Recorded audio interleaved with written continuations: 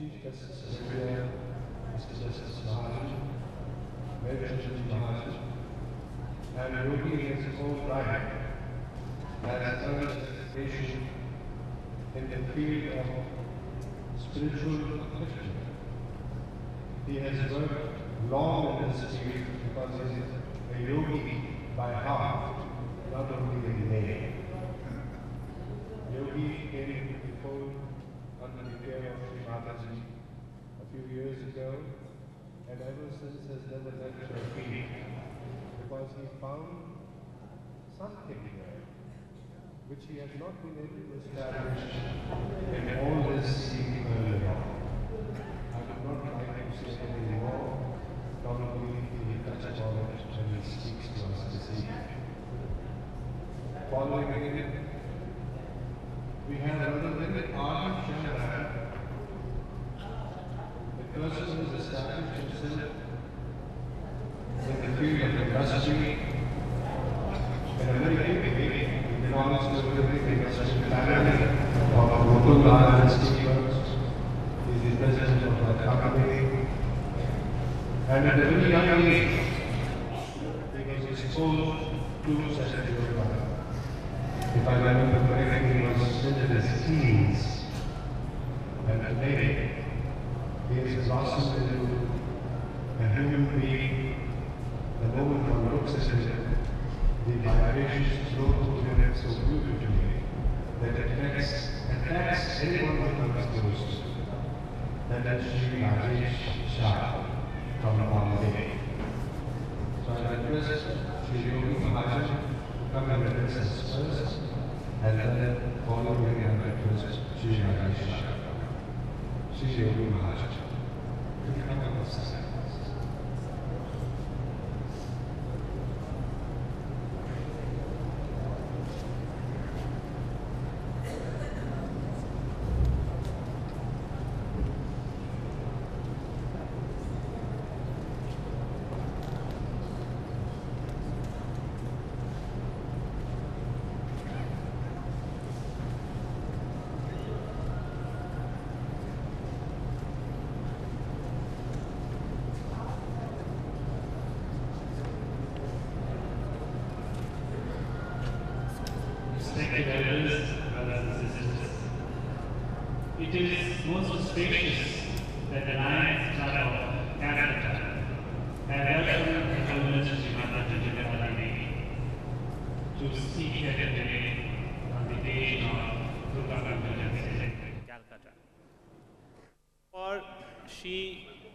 Herself is a subject of this celebration, the Mahakali celebration.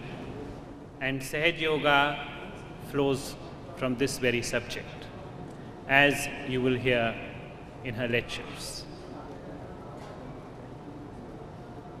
We have experienced this through Sahaj Yoga, how the Mahakali Shakti, which is being celebrated here today, flows through us. As people in Calcutta are celebrating every day, we can see visually the sense of joy, the sense of experience of beauty in this celebration, where people from all walks of life, whether poor or rich, are together in their hearts when they pray to the goddess. There is no other motive in their heart but to facilitate her. And in that celebration, they are together. They share with each other that Shakti. And that is none other than their pure desire. The pure desire to facilitate the goddess. Because in that facilitation, they touch their own innate connection with her as they are born of her. And it is this connection that they remember and that they celebrate this great puja. In this pure desire, there is no other desire. There is no material or ulterior motive, but the pure desire to celebrate this great Shakti. And through this is their strength, because it unifies them. And what is in unity is the seed of strength. And it is this strength, when it is built upon, that great deeds are done, that men become great, and through them the nation become great. It is through this Shakti that this nation became great and this nation was born. As you know, the struggle of independence emanated from this pure desire. And it was from Calcutta, from Bengal, that this pure desire spread to the rest of the nation. And it was this pure desire that united everyone, that integrated everyone in their diversity. And it is exactly this that happens within us, which we will understand if we apply our minds to what Sahaj Yoga tells us about ourselves.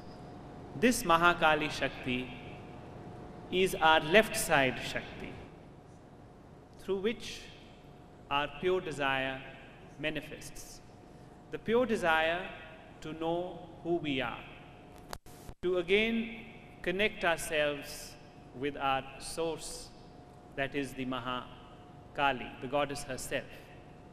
And when this Shakti awakens in us, we become dynamic and we touch the deep undercurrent of this energy which is within us and which is in the cosmic. And through that, we realize the great Shakti that is the goddess herself. Now, as this Shakti is awakened, it then proceeds to grow and to manifest into another Shakti, which is in our right side, which is the Shakti of our development, of our material planning and progress, which is the Mahasaraswati Shakti. This Shakti, when it emanates, rather, when it is in harmony with the pure desire Shakti, then we are in balance and we grow in a harmonious manner in the welfare and the interest of all concerned. Through that is our welfare and the welfare of our nation. But when development is isolated from the Mahakali Shakti, then it can be self destructive. Instead of creating things for the collective welfare, we may be creating things for the collective destruction, as has happened in the nuclear race in the more developed nations. Despite their development, they are not happy because they have neglected the pure desire, the Mahakali Shakti. So, these two powers, these two Shaktis, have to be together for our ascent. This ascent takes place through the third Shakti, which is the Maha Lakshmi. And this is the center channel which flows from the middle of our spine to the top of the head, called the Sahasrara. Now, in Sahaj Yoga, you will learn about these three Shaktis. You will learn about the great power that awakens these three Shakti. And it is the subject of Shrima, of Sahaj Yoga, how to awaken this. And what is that force within us that is to be awakened? This is what Shri Mataji will tell you about, and this is what she will awaken with us. What this force is called, she will tell you herself. But sufficient it is for you to know that till this force is awakened, we cannot bring these three Shaktis in their ascending state. And we cannot grow spiritually, we cannot grow mentally, and we cannot grow physically. While we talk of trying to find solutions to our multiple problems, we ignore the wider pattern of things and try to solve each problem in isolation to the collective problem. Thus, in solving one problem, we may create another problem. And in this way, the problems go on rising. So, how to integrate, how to grow collectively, this is what you will learn in Sahaj Yoga. Thank you.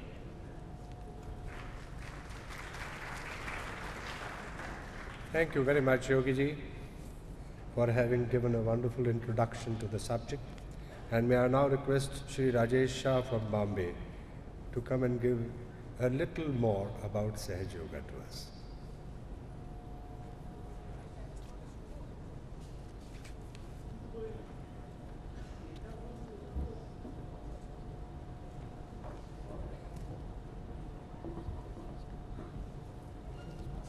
Can you adjust?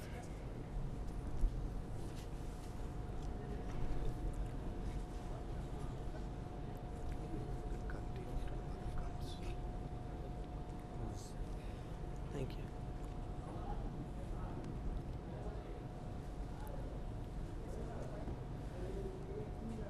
Fellow seekers, it gives me very great pleasure to have this opportunity to be able to address you today. I would like to thank the Lions Club International for making it possible for us to come and talk to you on the subject of Sahaj Yoga.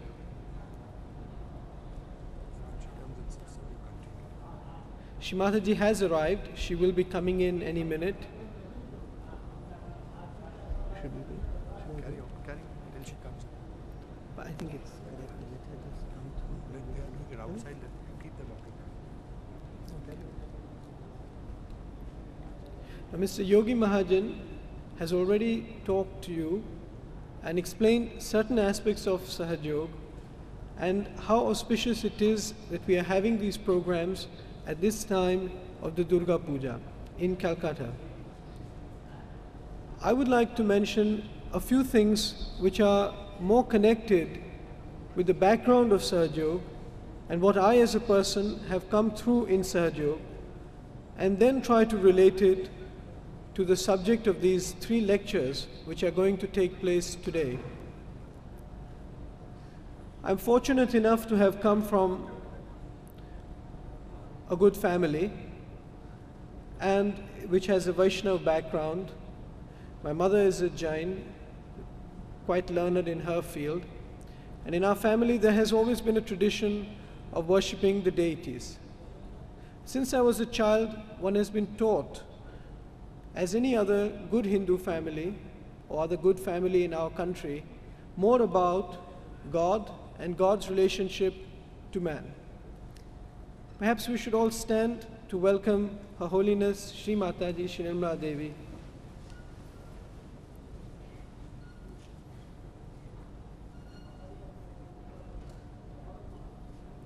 Carry on, carry on. Don't stop in between. You make it short after that. Carry on. Two, three minutes. I'll do specifically to No, no, two, three minutes. It's all right. Just because you can't break it.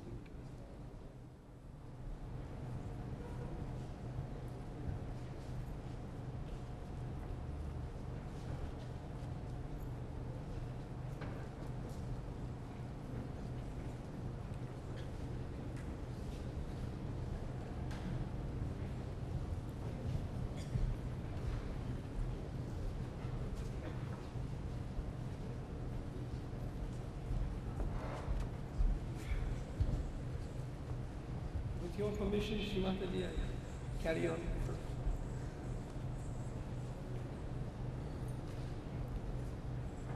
So, as a child, one found that one learnt a lot about the deities, especially as we have been taught in our country. But as I grew older and I looked around and I saw the different people and whatever they were doing, and I visited, I had visited many temples, talked to many people, and read many books even before I was 15 years old. And I found that it was quite obvious that these people who claimed that they were following a religious life or were following a life where they spent great amount of time in the ritualism, in learning more and more, or going to the temples, when one looked at their lives, one really did not see that kind of a difference.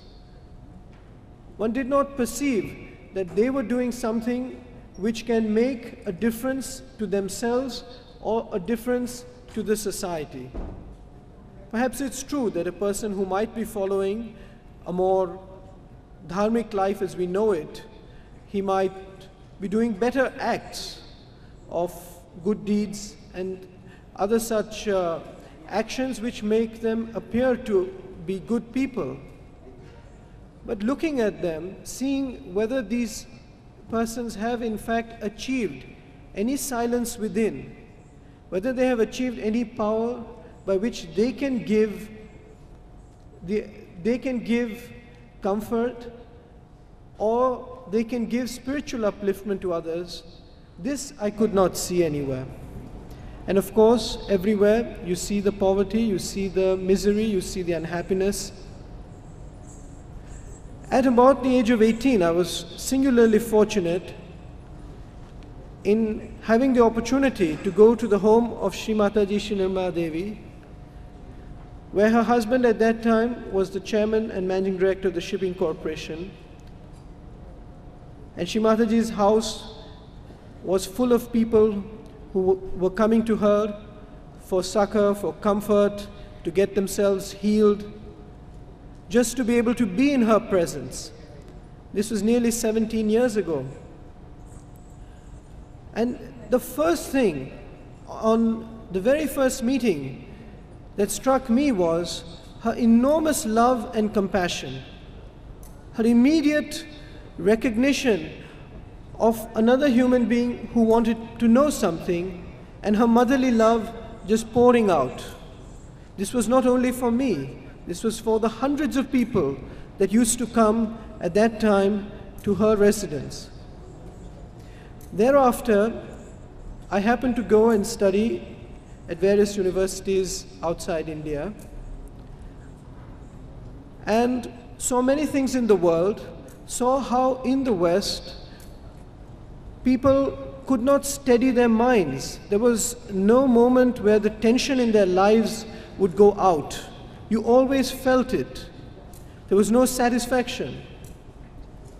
And again, thanks to Her Holiness Sri Mataji Shinirmala Devi, she taught me and thousands of others the message of Sahaja the message of learning the science, which is a very old science, but which only she has made possible for all of us, and through which we can experience not only the not only the, all the shastras that what all the shastras have said is the truth but that we know this on our own hands we know it through our own bodies we learn not only a very detailed science which as you take interest you will also come to gradually know of it but more than that you are able to recognize that this is truly something very, very great, very serious. Once we as Sahajogis have recognized at different times in our lives, at different times of this whole movement of Sahajog, that here is something very important, here is something very serious, and here is a person so incredibly genuine who only wants to give and who wants to teach us, who wants to share all that she has with us, that we have become serious. And in that seriousness, we have wanted to listen more and more to Sri Mataji. We have listened carefully, and she has taught us. She has taught us in the same way as Christ had, one, had promised that he will send the Comforter, the Redeemer, and the Counselor. Shri Mataji Nirmala Devi has been that for all of us who are Sahajogis, and today she is there for all those who are the true seekers. As you know that in any, any change that has to take place, the first change has to come as a change in the concept. It has to happen as a change in one person, who we say is the leader. And from the leader, the change emanates and society can change. Shri Mataji is not a political leader, but she is a great leader because there is so much to learn from her. And she has so much to give us and guide us. I hope and pray that today you will take advantage of this unique opportunity and listen carefully and gain the maximum from the presence of Her Holiness Shri Mataji Nirmala Devi. Thank you very much.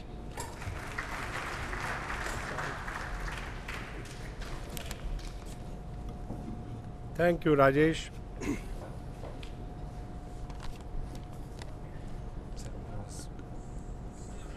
As I promised you, I'm sure you also felt that the young man who spoke to you just now, he oozes love and beautiful vibrations.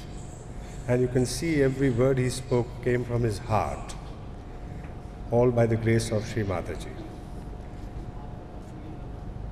Sri Mataji, we crave your benign indulgence and seek apology for being slightly late as you came dot on time, but we were slightly delayed.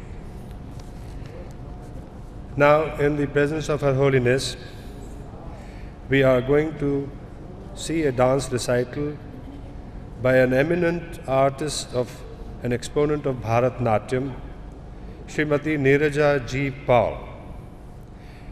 She is going to perform two dances. The first one is Pushpanjali, followed by a short slokam on Sri Ganesha. This is an invocation item in which the dancer prays to God and offers flowers to him. This is followed by a shloka on Ganesha requesting his blessing and protection for the success of the dance presentation. The lyrics are in Sanskrit. This is to be followed by another dance, very befitting to the occasion, on this very auspicious occasion in the presence of our Divine Mother, and that is Sri Jagannatha Stotram in Rag Malika and set in Tala Malika. This is a dance on the four aspects of the Divine Mother, Mahamaya. The four aspects are Sri Maheshwari, Sri Mahakali, Sri Mahalakshmi, and Sri Mahasaraswati. These four aspects merge into one, the form called Jagannatha.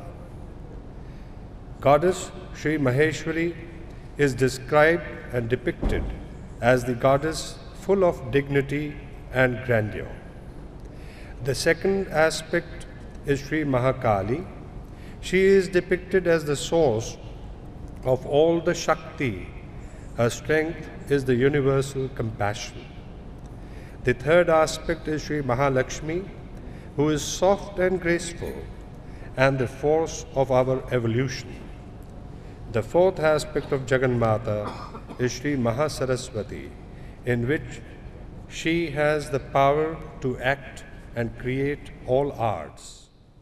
In the end, she shows as the fusion of the four aspects into one, that is Jagannatha or Sri Adi Shakti. We present to you Srimati Neeraja G. Paul.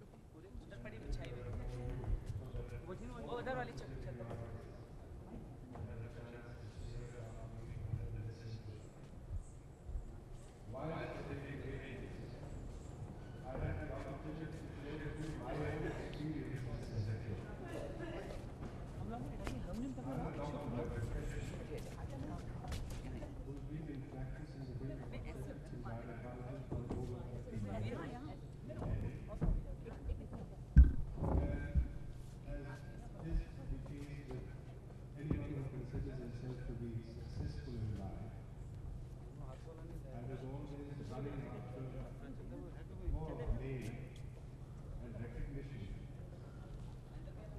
And less for what people look after most in the mundane world, and that is the wealth tasks. Not that the wealth didn't come, but my attention was more on pain and recognition. Having worked long for that, I tried to occupy as many chairs as possible on professionals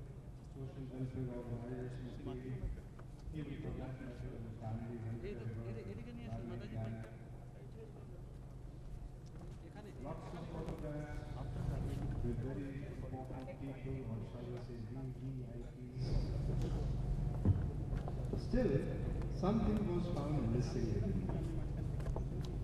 And after every success as I thought it to be, I found there was a void. And during that void, I used to feel depressed. Probably there was some yearning, some lurking desire within to know myself. But I didn't know how to get to that point where I would really be able to make out what was the missing link between me and my happiness. Till, yeah, till just two years ago, I was exposed to Sri Mataji. And lo and behold, such a transformation which lets me feel that whether this is the same Dr. Talwar who was there in 1984 or is this some new person? I can only say one thing at the feet of Sri Mataji, at her holy feet. She brought about that transformation within me which each one of us can attain. Because she awakened that within me which was mine, which has been within me all the time. Only I didn't know how to awaken it.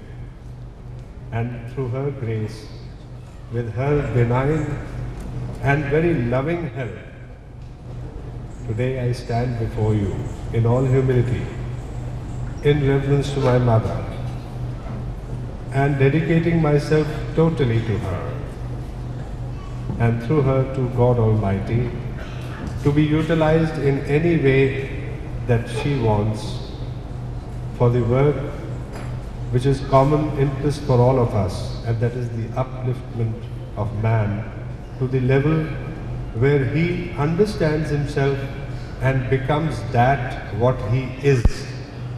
And that I shall leave to her Holiness Sri Mataji to tell you during the process of her address to you this evening.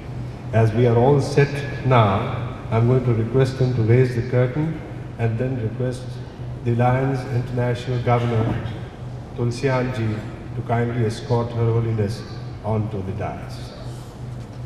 Could we have the curtain up? Curtain top.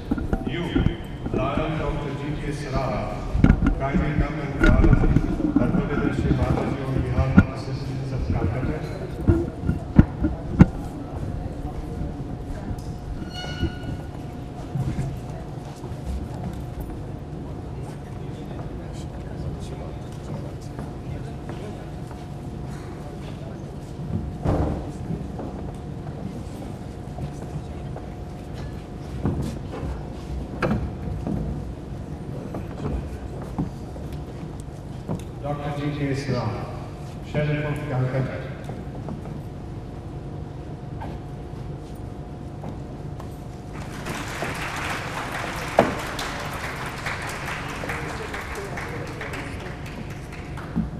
behalf, thank you very much. On behalf of the Alliance District 322B, Governor Mohanlal Jinsyal and Garland.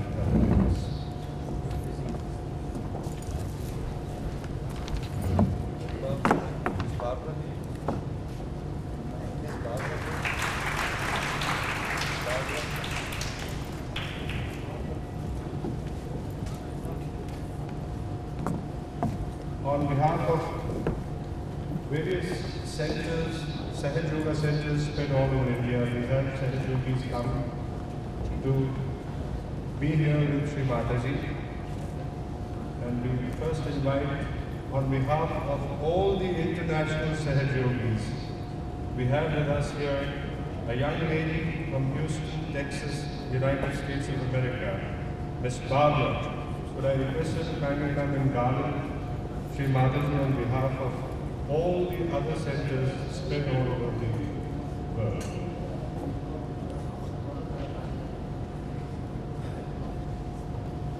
May I request Governor Tulsianji to kindly come and occupy the chair of the dais.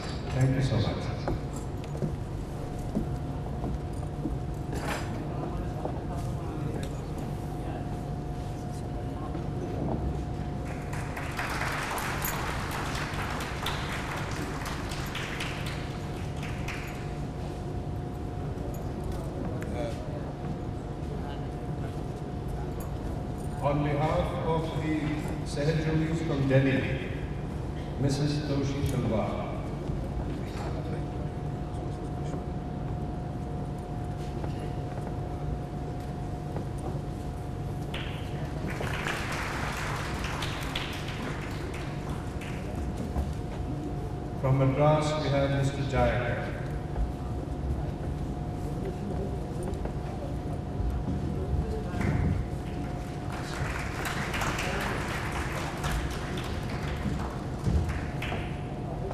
From Maharashtra, Mr. Radhamai Modi.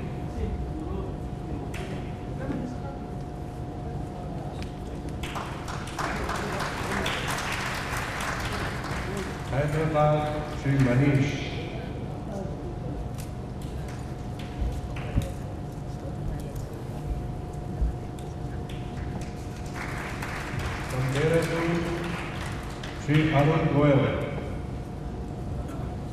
This young man has a history behind him as far as the. He is here today because of Sahaj Yoga. We'll tell you this story some other time. We have, last but not least, Sri M.K. Jalal from Calcutta.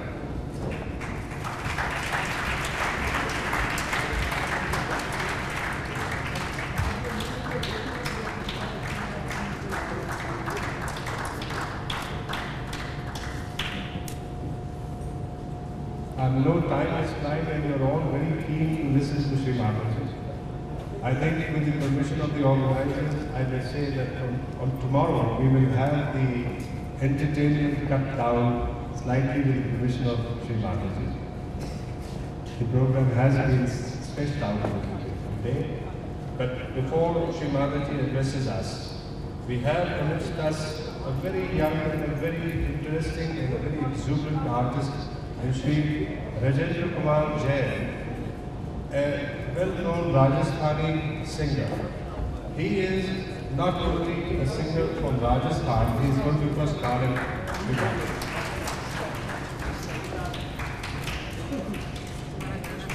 He also happens to be a linguist as far as music is concerned because he has sung in about 18, I think, languages of India.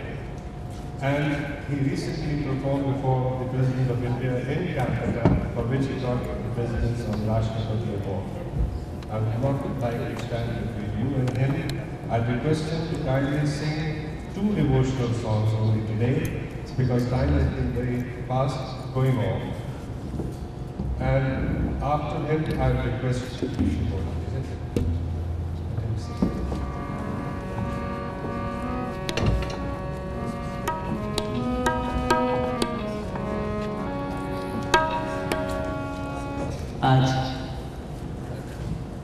रोशनी का दिन है। माँ का भव्य दरबार लगा है।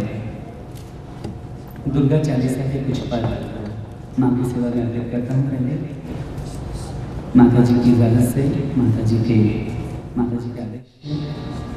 दुर्गा जी का ये चालीसा, आप सबों को याद होगा, आप सब मेरे साथ गाइए। और बहुत सरल शब्द हैं। आप साथ साथ मिलकर जाइए, देखिए। ऐसे महसूस होगा स्वयं माँ दुर्गा के कई चरण में आ हैं।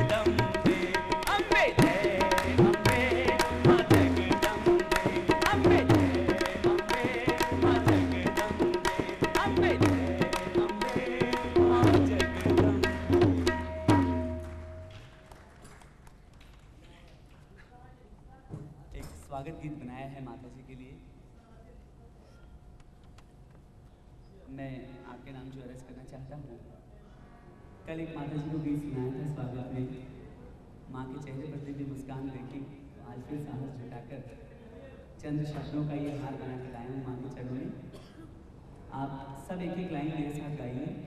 माँ का स्वागत है ये। और ऐसी माँ का स्वागत है जो एक संदेश लेकर आई है। सुख शांति की धारा बहे, ऐसा ममतक लेकर आई है, ऐसी माँ के चरणों में सादर समर्पित है। ये मेरा भक्ति अर्थ है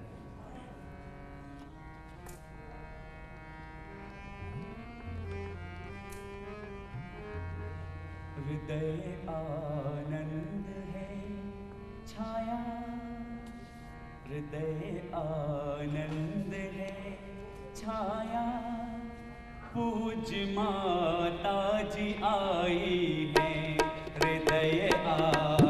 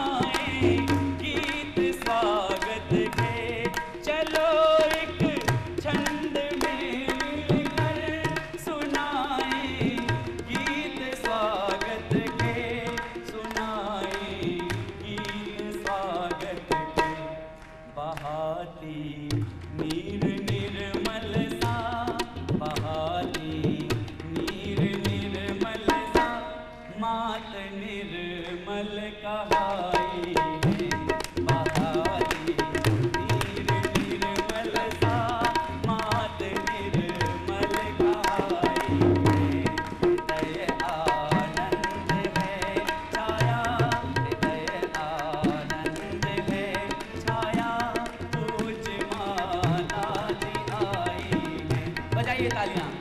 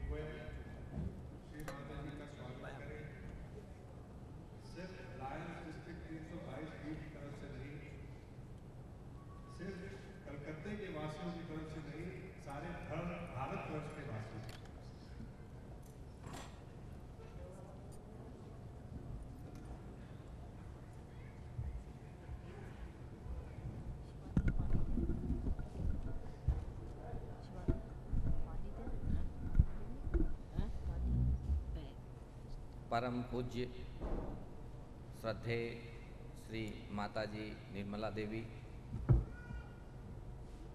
मेरे यहाँ पधारे हुए लायन बंधु, सहयोगी बंधु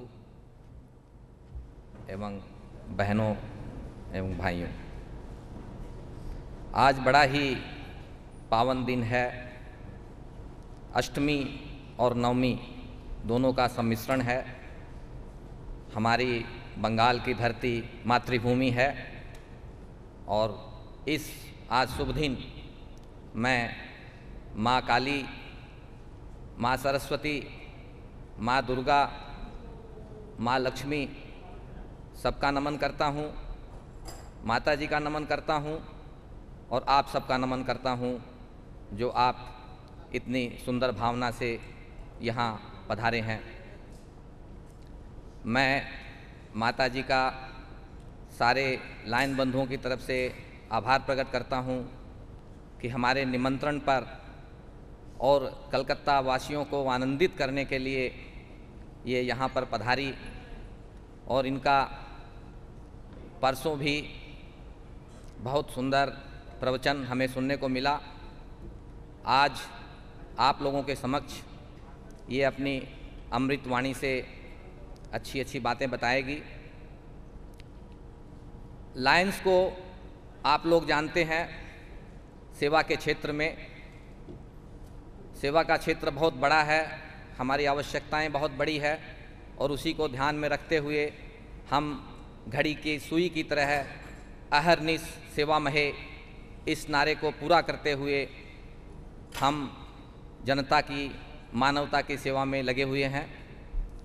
और हमारा एक छोटा सा अनुदान जो मैं आपको गिनाऊं प्रतिदिन के हिसाब से, हम लोग लायंस प्रतिदिन 25 आँख के ऑपरेशन 10 ब्लड डोनेशन, करीब 300 पेड़ प्रतिदिन हम लगाते हैं और दो दिन में एक हम कम से कम ट्यूबवेल लगाते हैं।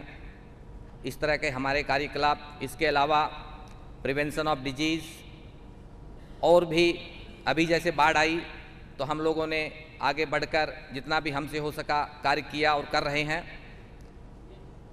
अब आप, ये सवाल आपके जहन में आएगा कि लायंस सेवा के क्षेत्र में होने के साथ साथ इस सहज योग में कैसे आ गए? तो बंधुओं लायंस सिर्फ़ सेवा के क्षेत्र में ही नहीं लायंस का यह ध्येय है कि मनुष्य का सर्वांगीण विकास हो ऑलराउंड डेवलपमेंट हो, और मनुष्य का अगर शरीर स्वस्थ नहीं है तो मन और चित्त भी स्वस्थ नहीं होता। उसी दिशा में इस साल हमने योग की भी एक कमेटी बनाई और मुझे जब सहज योग के बारे में पता पड़ा तो मुझे बड़ी खुशी हुई कि एक ऐसा रास्ता जो बहुत ही सहज है, जो हमें बहुत सुंदर रास्ते की तरफ़ चलने की शिक्षा देता है। और दूसरी बात जो मुझे बहुत अच्छी लगी कि हमारा जो लायंस का ध्येय है सेवा एवं विश्व बंधुत्व, कुछ हमारी और सहज योग की इतनी समानताएँ हैं कि उन्हें देखकर मुझे यूँ लगा कि जैसे हम एक ही रास्ते के चलने वाले मुसाफिर हैं। जैसे हम लायंस में आई, यानी मैं को महत्व नहीं देते, हम लायंस हम बोलते हैं, हमारा कलेक्टिव इफ़र्ट्स है, हम साथ मिलजुल कर काम करते हैं। और माता जी सहज योग के द्वारा भी हमें वही कलेक्टिविटी थ्योरी की बात बताती है। मैं बोल के मनुष्य नहीं होता, मैं तो सिर्फ़ एक परमात्मा जो कि आदि शक्ति है, वही है।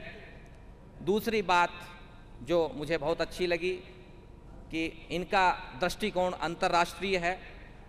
सारी नेशनैलिटी सब जगह इनका एक संदेश फैला है। और हमारा भी, आप देखते हैं लायंस का आंदोलन सारे विश्व में फैला हुआ है, एक सौ इकसठ देशों में। तो इस तरह से हमारी इसमें भी एक समानता है। दुखी मानवों की सेवा करना, ये भी इनका एक बहुत बड़ा ध्येय है। और जैसे हम बीमारों की तीमारदारी करते हैं और बीमारी न आने पाए, उसका भी हम पूरा प्रयास करते हैं। उस दिशा में भी सहज योगी बहुत ज़ोर से तत्पर हैं और वास्तव में सहज योग के द्वारा ये हमें बताते हैं कि अगर मनुष्य इसको 10 मिनट प्रतिदिन करे तो बीमारी पास ही नहीं आने पाए।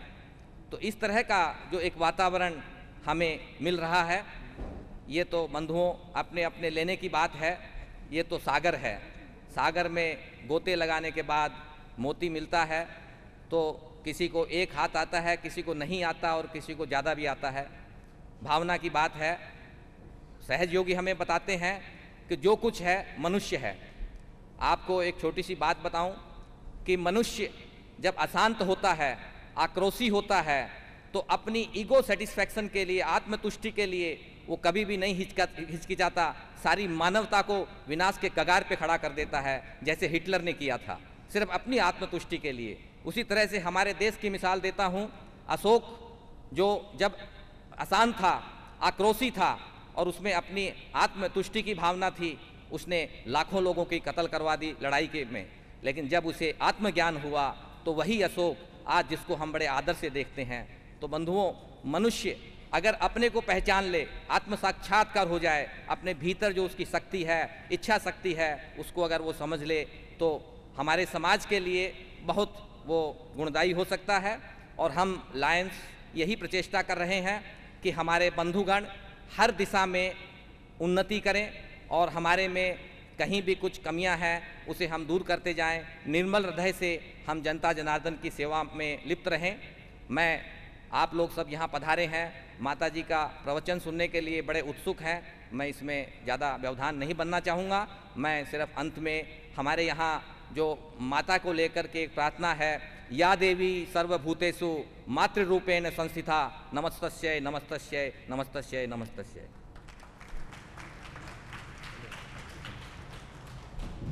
धन्यवाद तुलसियान जी। इससे पहले कि मैं श्री माता जी से प्रार्थना करूँ कि हमें अपना संदेश दें, मैं आपसे एक ऐसी चीज़ बांटना चाहता हूँ, जो कि विद्या के क्षेत्र में और ख़ास करके मेडिकल रिसर्च के क्षेत्र में सहज योग और मेडिकल साइंस के साथ क्या संपर्क है? इसके बीच में दिल्ली यूनिवर्सिटी में तीन विद्यार्थी लिए गए हैं। एक ने तो अपना थीसिस भी पूरा कर दिया है दिल्ली यूनिवर्सिटी में, सहज योग और उसके फिजियोलॉजिकल इफ़ेक्ट्स पर। और दो और स्टूडेंट्स इसी कार्य के लिए अपने पीएचडी और एक एमडी के लिए तैयारी कर रहे हैं।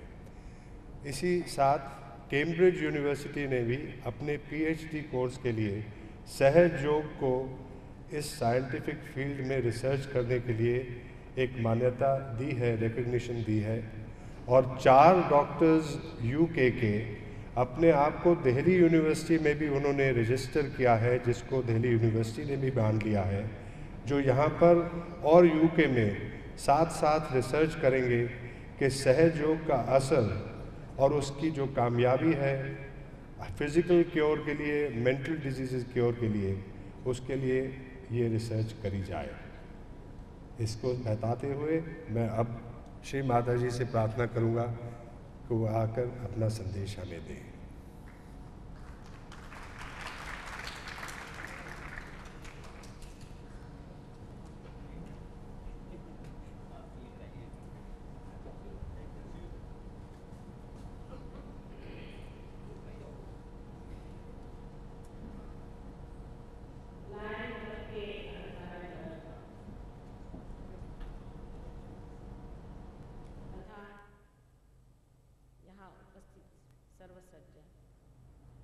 महिलाएँ और बच्चे। किन शब्दों में एक माँ कह सकती है, इस कलयुग में इतना आदर और सत्कार, लायन क्लब जैसी प्रतिष्ठित, मानी हुई संस्था करेगी। क्या कह सकते हैं? कि ऐसे भी दिन आए जब माँ की प्रतिष्ठा को, उसकी शक्ति को जानने का इस कलयुग में प्रयत्न हुआ है। वास्तविक में जो अनादिकाल से इस भारतवर्ष में पूजी हुई माँ की शक्ति थी, उसको काफ़ी भुला दिया गया। कारण? जो परिपाठी से चलाया था, उसमें लोगों को कोई सत्यता मालूम नहीं शक्ति है तो कहाँ है? लोग कहते हैं कि परमात्मा की शक्ति सर्वव्यापी है, सो कहाँ है? उसका कोई परिणाम दिखाई नहीं देता। उसकी कोई क्रिया दिखाई नहीं देती। फिर ऐसे शक्ति पर क्यों विश्वास किया जाए? किंतु इतने वर्ष बीतने पर भी आज हम लोग अष्टमी और नवमी को बहुत मानते हैं।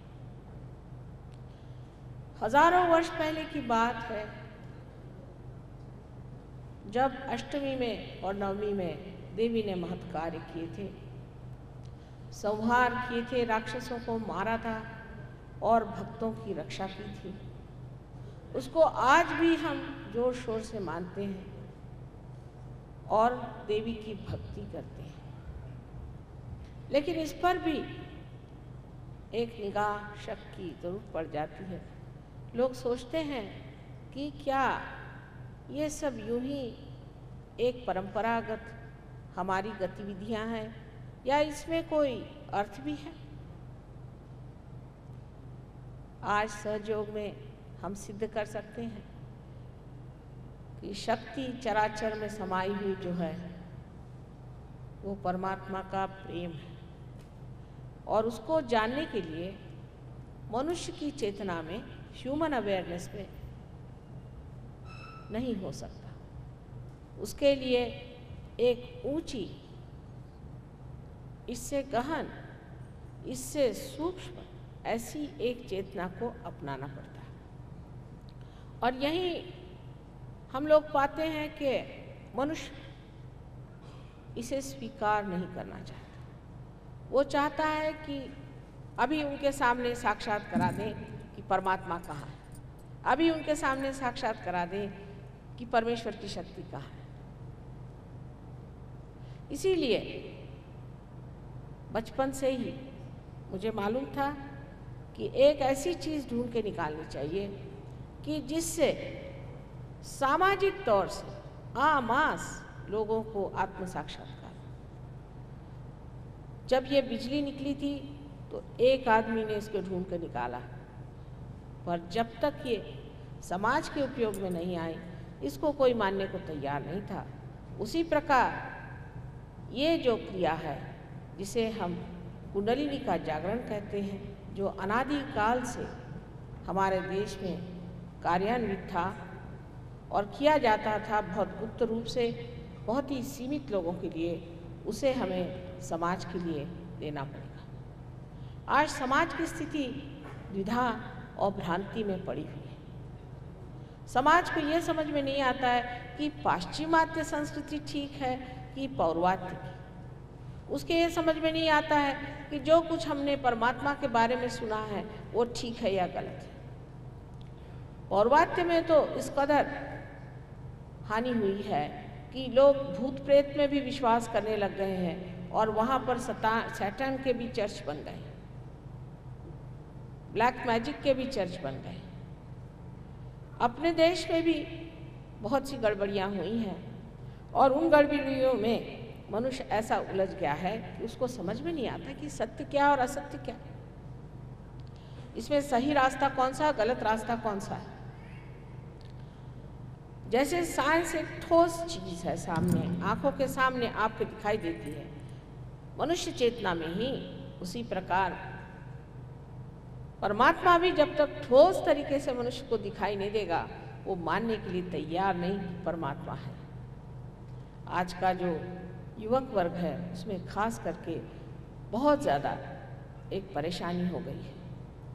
क्योंकि समझ में नहीं आता कि परंपरागत बातें इनको मानना चाहिए या इन सबको छोड़ करके परमात्मा नहीं है, ऐसा ही विश्वास कर लेना चाहिए। इसका उदाहरण मैं आपको बताऊँ कि अल्जीरिया में वहाँ के जो फंडामेंटलिस्ट थे, जो कि बुनियादी तौर पे अपने को मुसलमान कहते थे और जो मुसलमानों की जो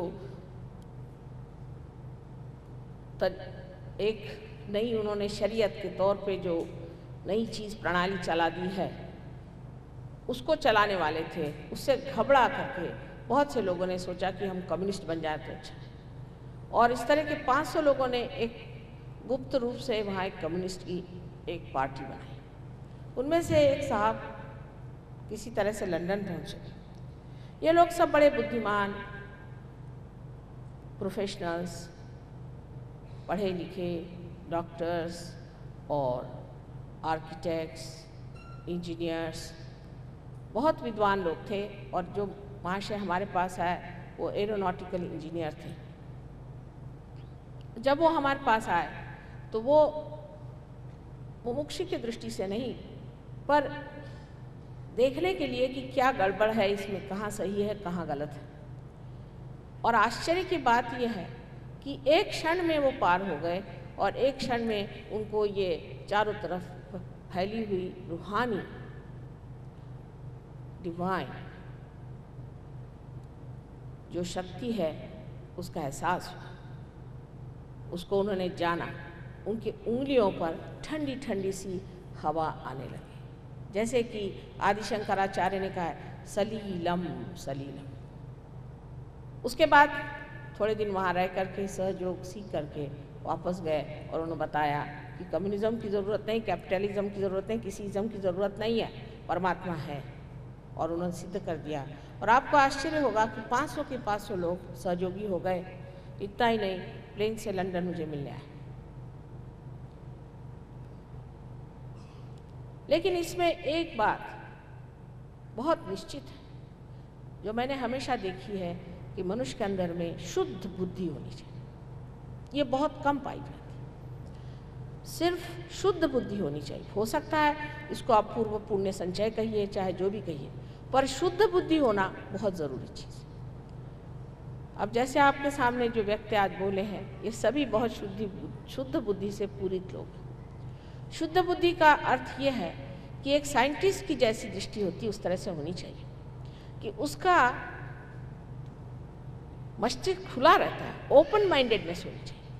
उसके सामने अगर कोई धारणा रखी जाए, कोई हाइपोथेसिस रखी जाए तो वो ये नहीं कहता कि नहीं हो सकता। ऐसा जो कहता है, वो साइंटिस्ट नहीं। वो फिर कहता है चाणाक्ष बुद्धि से कि अच्छा आप ऐसा कहते हैं तो देखा जाए। अगर सिद्ध हो जाए तो वो फिर कायदा हो जाता है। इसी प्रकार सहयोग के और जिनकी दृष्टि रही, वो बहुत जल्दी हठा सहज में ही एकदम पार लेकिन जिनकी दृष्टि में बेकार की कुतूहल, बेकार का अहंकार, बेकार की उनकी कुसंस्कार भरे हुए हैं, उनको ज़रा समय लगा, लेकिन हुए सब पार। कोई लोग मुझसे ये भी कहते हैं कि माँ, कुछ लोग जल्दी क्यों पार हो जाते? कुछ लोगों को इतना समय क्यों लगता है? किसी किसी पर तो हाथ तोड़ने पड़ते हैं। बंगाल की तो क्या कहने? मैंने कितने बार कहा है कि ये बंगाल महान पुण्यवान देश है और इस पुण्यवान देश में अत्यंत पुण्यात्मा ही पैदा होने चाहिए। इसमें लोग ये सोचते हैं कि माँ हम तो इतने गरीब हैं, यहाँ इतनी हमारे अंदर गरीबी आई। उस गरीबी का क्या कारण है? उसका एकमेव कारण यह है कि आपने परमात्मा छोड़ करके, जो परमात्मा नहीं, ऐसे लोगों का अनुसरण किया। जो परमात्मा के विरोध में हैं, ऐसे लोगों का अनुसरण किया। जो यहाँ हज़ारों तांत्रिक बैठे हैं, इनको उठाकर आप फेंक दीजिए, आपके देश में लक्ष्मी आ जाएगी। ये अलक्ष्मी के कारणभूत है। मैं तो खुलेआम इनके लिए कहती हूँ कि हर एक तांत्रिक को उठा करके यहाँ से फेंक देना चाहिए। आप देखिए, यहाँ लक्ष्मी जी आ जाएँगी, क्योंकि लक्ष्मी जो है, वो किसी भी भूत प्रेत, स्मशान से बहुत दूर भागती हम ही खुद ऐसे अगर कोई तांत्रिक हो तो वो हमारे सामने घबराता है और हम चाहते नहीं कि हम किसी तांत्रिक से मिलें। ये जो यहाँ तांत्रिक विद्या शुरू हुई है, इसका कारण ये है कि ये तांत्रिक लोग जानते हैं कि ये देश अत्यंत पुण्यवान है और अगर ये देश जाग उठेगा तो सारा संसार बंगाल की जो भूमि है उसे बह लेगा। इसलिए यहाँ जम के बैठे हुए हैं और आप लोगों ने इनको इतना सर पे चढ़ा रखा है, इनका इतना मान दे दिया है कि देवी यहाँ से उठ गई। यही प्रकार हमने देखा कि केरला में यही प्रकार है। जिस जगह तांत्रिकों का इतना महात्म्य होगा, वहाँ कभी भी अमीरी नहीं आ सकती, वहाँ कहीं भी प्रॉस्पेरिटी आ ही नहीं सकती। अब आप कहेंगे कि फिर अमेरिका में क्यों? अमेरिका की जो हालत है वो हमसे पूछे कर्जे में बैठे हुए। उन लोगों की हालत वहाँ रहने से पता होती है कि किस कीचड़ में घुसे हुए लोग हैं। इनसे कुछ हमें सीखने का नहीं। इनके पास कोई भी सभ्यता नहीं। ना ये अपनी माँ बाप को जानते हैं, ना माँ बहन को जानते हैं, इनकी गंदी बीमारियाँ इतनी हो गई हैं। तो भी अभी इनके अकल नहीं आई है कि कायदे से रहना चाहिए और धर्म पे चलना चाहिए। इनमें कोई धार्मिक भावना नहीं साइंस के इसमें भी जो इन्होंने पता लगा के रखा है, वो एक भूत बना के रखा है बॉम्ब का और उधर दूसरा रशिया ने बना के रखा है। और दोनों एक दूसरों को चढ़ा रहे हैं और दोनों जो बनाया हो उसी से डरते हैं। ऐसे महामूर्खता के का, काम जिन्होंने किए हुए हैं उनको क्या फ़ायदा है साइंस मिलकर के भी? उन्होंने कौन सी अकल की बात की है? आज सारे संसार को एक भय बैठा हुआ है कि दूसरा युद्ध शुरू हो जाएगा अगर ये दो मूर्ख देश आपस में लड़ाई करें ये महामूर्ख लोग हैं जिन्होंने इस तरह की बातें बना करके और राक्षस अपने हाथ से तैयार किए। आज तक राक्षस मनुष्य ने तैयार नहीं किए थे। ये इन्होंने तैयार करके ऊपर चढ़ा करके बिठाए हुए अपने खोपड़ी पर। और उसी से चाहते हैं कि सारे संसार को हम दंदना के रखें। लेकिन आप लोग इस मूर्खता को क्यों नहीं देख पाते? यही आश्चर्य की बात इन लोगों का जीवन देखिए तो इतना दुखद है, इतने तकलीफ़ में है, इतने परेशानी में है कि आश्चर्य होता है कि हम लोग इस गरीबी से डरते हैं। ये गरीबी तो हमारे ऊपर एक तरह का आशीर्वाद ही है, समझ लीजिए कि इनके जैसे हम रईस नहीं हुए। इन लोगों के तौर तरीके देखने पर आपको पता होगा कि ये मनुष्यता से एकदम गिर चुके एकदम जानवर जैसी इनकी ज़िंदगी और जानवर जैसे रहते हैं। इनके साथ रह रहकर आज पता नहीं कैसे हमारे पति वहाँ चले गए, इसलिए मुझे भी बारह साल इनसे रहना पड़ा। जब ये लोग सहयोग में आते हैं तो मेरे हाथ टूट जाते हैं, इनको पार करने के हाथ टूट जाते हैं। चार साल तक सात इन अंग्रेज़ों को ऊपर मैंने अपने हाथ तोड़े। और तब जाकर बड़ी मुश्किल से साथ डगमगाते हुए खड़े हो गए। आज देखती हूँ कि लायन क्लब के सारे लोग पार हो गए, आप लोग अब एक क्षण में पार हो जाएँगे। ये भी इस वंग भूमि का ही आशीर्वाद समझे इस योग भूमि में वंग भूमि को हम हृदय चक्र मानते हैं और इस हृदय चक्र पे जगदम्बा का स्थान। जगदम्बा का स्थान ये होते हुए आप लोगों को ऐसे गलत राक्षसों के पास जाना, अपने माँ के विरोध में खड़े हैं। जब तक आप इसको छोड़ेंगे नहीं, तब तक माँ भी आपको मदद नहीं कर सकती। पर सहयोग में आप जान जाइएगा कि मैं क्या कह रही उससे पहले आप नहीं जान सकते। कारण अभी तक आप उस एक में एब्सोल्यूट तत्व पे नहीं पहुँचे। वो तत्व ये है कि आप आत्मा हैं। जिस वक्त आप आत्मा हो जाते हैं, जिस वक्त आपकी आत्मा जागृत हो जाती है, आप जानते हैं एब्सोल्यूट को एब्सोल्यूट ट्रूथ जो कि एक में वो सत्य है, उसमें दो बातें नहीं होती। आप कैसे बता सकते हैं कि कौन सा आदमी अच्छा है और कौन सा आदमी बुरा है? कौन सा आदमी ठग है और कौन सा आदमी साधु है? इसके अनेक लक्षण बताए गए हैं, लेकिन कौन पढ़ता है इसे? इसे कोई पढ़ता नहीं है। पढ़ते लोग वही चीज़ें हैं जो उनको, उनकी जो कमज़ोरियाँ हैं, उसको बलवती दें, उसको बढ़ाए, उनके और कमज़ोर कर दें, उनको ऐसी चीज़ों में डाल दें जिससे उनकी बुरी आदतें और भी प्रज्वलित हो जाए। इससे कल्याण होने वाला नहीं, इससे हित होने वाला नहीं, इससे हमारी भलाई होने वाली नहीं। और कल हमारे बच्चे भी उसी रास्ते पे चले जाएँगे, जिस रास्ते में आज अमेरिका के और देशों के बच्चे जा रहे हैं। आपको मालूम है कि ड्रग की बीमारी इतनी बढ़ गई है, खासकर इंग्लैंड में, कि वो लोग मिलिट्री को लाना चाहते हैं कि किसी से ड्रग रोका जाए। श्री कृष्ण ने कहा है कि हमारी मनुष्य चेतना, मानव चेतना नीचे की ओर बढ़ती। इसकी जड़ें सर में हैं। और हमारी जब चेतना नीचे की ओर दौड़ती है, तब हम अधोगति पर उतरते हैं। ऊर्ध्व गति को प्राप्त हुए बगैर, अपने को ऊर्ध्व गति की ओर ले जाए बगैर अगर हम चाहें कि हम उत्थान पालें या हमारा पुनरुत्थान हो जाए, हमारा रिजरेक्शन हो जाए तो हो ही नहीं सकता। ये हमारी जो उत्क्रांति है एवोल्यूशन है, उसकी अब चरम सीमा आ गई। मनुष्य को इस चरम सीमा को प्राप्त करना ही चाहिए, नहीं तो वो सार्थ नहीं हुआ, उसका जीवन सफल नहीं वो अधूरा ही रह गया है, उसका अधूरापन है, इस वजह से वो आज इस तरह से भ्रांति में रह रहा इसको हटाना चाहिए, और वो हटाना बहुत सहज और सरल है। अब आप कहिएगा कि माँ, ये तो आप कह रही हैं, इतना सहज है, इतना सरल है, सो ऐसे कैसे हो सकता? ये तो बताते हैं कि आपको इतने उपास करने चाहिए, आपको सर के बल इतने दिन खड़ा होना चाहिए, और उसके बाद आपको बाल मुड़ाने चाहिए, और फिर पानी में आपको इतने दिन खड़े होना चाहिए, सब तरह के आतप उठाइए, तब कहीं जा कर के आप पार हो सकते। सो तो बात नहीं। अब आप ये सोचिए कि एक पिता अत्यंत प्रेममय जो सिर्फ़ प्रेम से भरा हुआ वो कभी चाहेगा कि अपना बच्चा इतना परेशान है। जो माँ अपने बच्चों को प्यार करती है, वो चाहेगी कि बच्चों को इतनी तकलीफ़ हो। क्या वो चाहेगी कि उसका बच्चा भूखा रहे, उसके लिए उपास करे? यह सब भ्रांति की कल्पनाएँ आपके अंदर भरी हुई हैं। कि आप इस तरह से अपने शरीर को दुख दो, उस तरह से अपने शरीर को दुख दो, उससे परमात्मा मिल जाए। अगर यही बात थी तो मेरे ख्याल से जिन देशों में बहुत पीड़ित लोग हैं, जैसे आप जानते हैं कि कुछ कुछ देश ऐसे हैं कि जहाँ लोगों की बिल्कुल हड्डियाँ निकल आई, उनको खाने को नहीं मिला, उनको अभी परमात्मा मिल जाने चाहिए। लेकिन ये तो परमात्मा की बात है जो कि सर्वशक्तिमान तो है ही, लेकिन प्रेम के सागर है।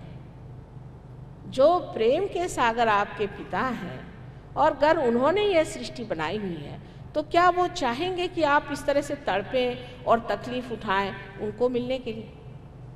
उल्टे ये करने से वो नाराज़ी हो जाएँगे। इसका मतलब यह है कि उनके आशीर्वाद को आप पहचानते नहीं। कितनी सस्य श्यामलाम भूमि है, कितने सुंदर जगह आप रह रहे हैं। यहाँ पर सुबह रोज़ चिड़िया बोलती है। यहाँ पर बच्चे कैसे खिलखिला कर हँसते हैं। ऐसे इस वातावरण को आपने कभी भी सोचा कि क्या परमात्मा का आशीर्वाद है? सहयोग में हमें मंत्र बताते हैं count your blessings one by one ये सोचिए परमात्मा ने हमें क्या क्या दिया क्या क्या हमें परमात्मा से मिल गया? तब तो परमात्मा खुश होते हैं, सोचते ठीक है, हमारे बच्चे ने हमारा सब कुछ स्वीकारा है, उसको और भी देना चाहिए। लेकिन इस तरह की परिपाटियाँ यहाँ चल पड़ी, जिससे कि मनुष्य गलत रास्ते पे चल पड़ा है और अगर आप उपास ही करना चाहता है और उसी की बड़ी इच्छा तीव्र है आपको तो परमात्मा का कहता अच्छा भूखे मरिए, ठीक है? आपको तो यही इच्छा है ना कि हफ़्ते में कम से कम पाँच दिन उपास करना कहते, क्यों ना हर साल भर ही कर लीजिए? ये समझने की बात है कि जो परमात्मा आपको इतना प्यार करते हैं। और जो प्यार का सागर है, वो ऐसी बात आपके लिए कैसे सोच भी सकते हैं और कैसे इस बात को वो मान्यता दे सकते हैं। दूसरी बात हमारे अंदर यह है कि अब साइंस के पीछे हम पड़ गए। ठीक है, साइंस का बड़ा उपयोग है। अगर साइंस नहीं होता तो मैं ऐसे भाषण नहीं दे पाती। साइंस के कारण फोटोग्राफी आ गई है। उस फोटोग्राफी से बहुत सी बातें जो हम नहीं बताना चाहते वो सामने दृष्टिगोचर होती हैं। बहुत सारी लाइट्स वगैरह से लोग जानते हैं कि हम क्या हैं और सहयोग क्या है।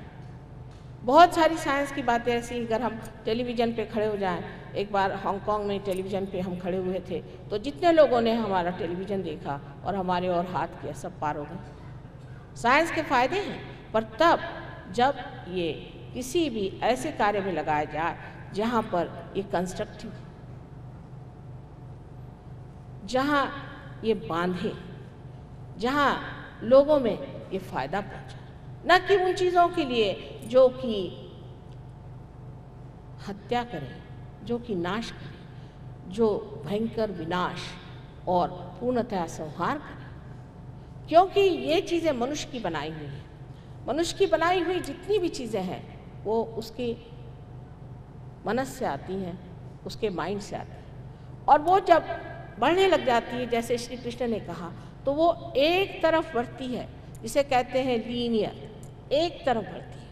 जब एक हद तक पहुँचती है तो उसमें की संहार शक्तियाँ, उसकी नष्ट शक्तियाँ जो हैं, या दुष्ट शक्तियाँ जो हैं, वो प्रबल होकर के उसे नीचे गिरा देती हैं, और फिर उनकी तरफ़ लौट आती है। लोग कहते थे, कैपिटलिज्म बहुत अच्छा है, करके देख लिया।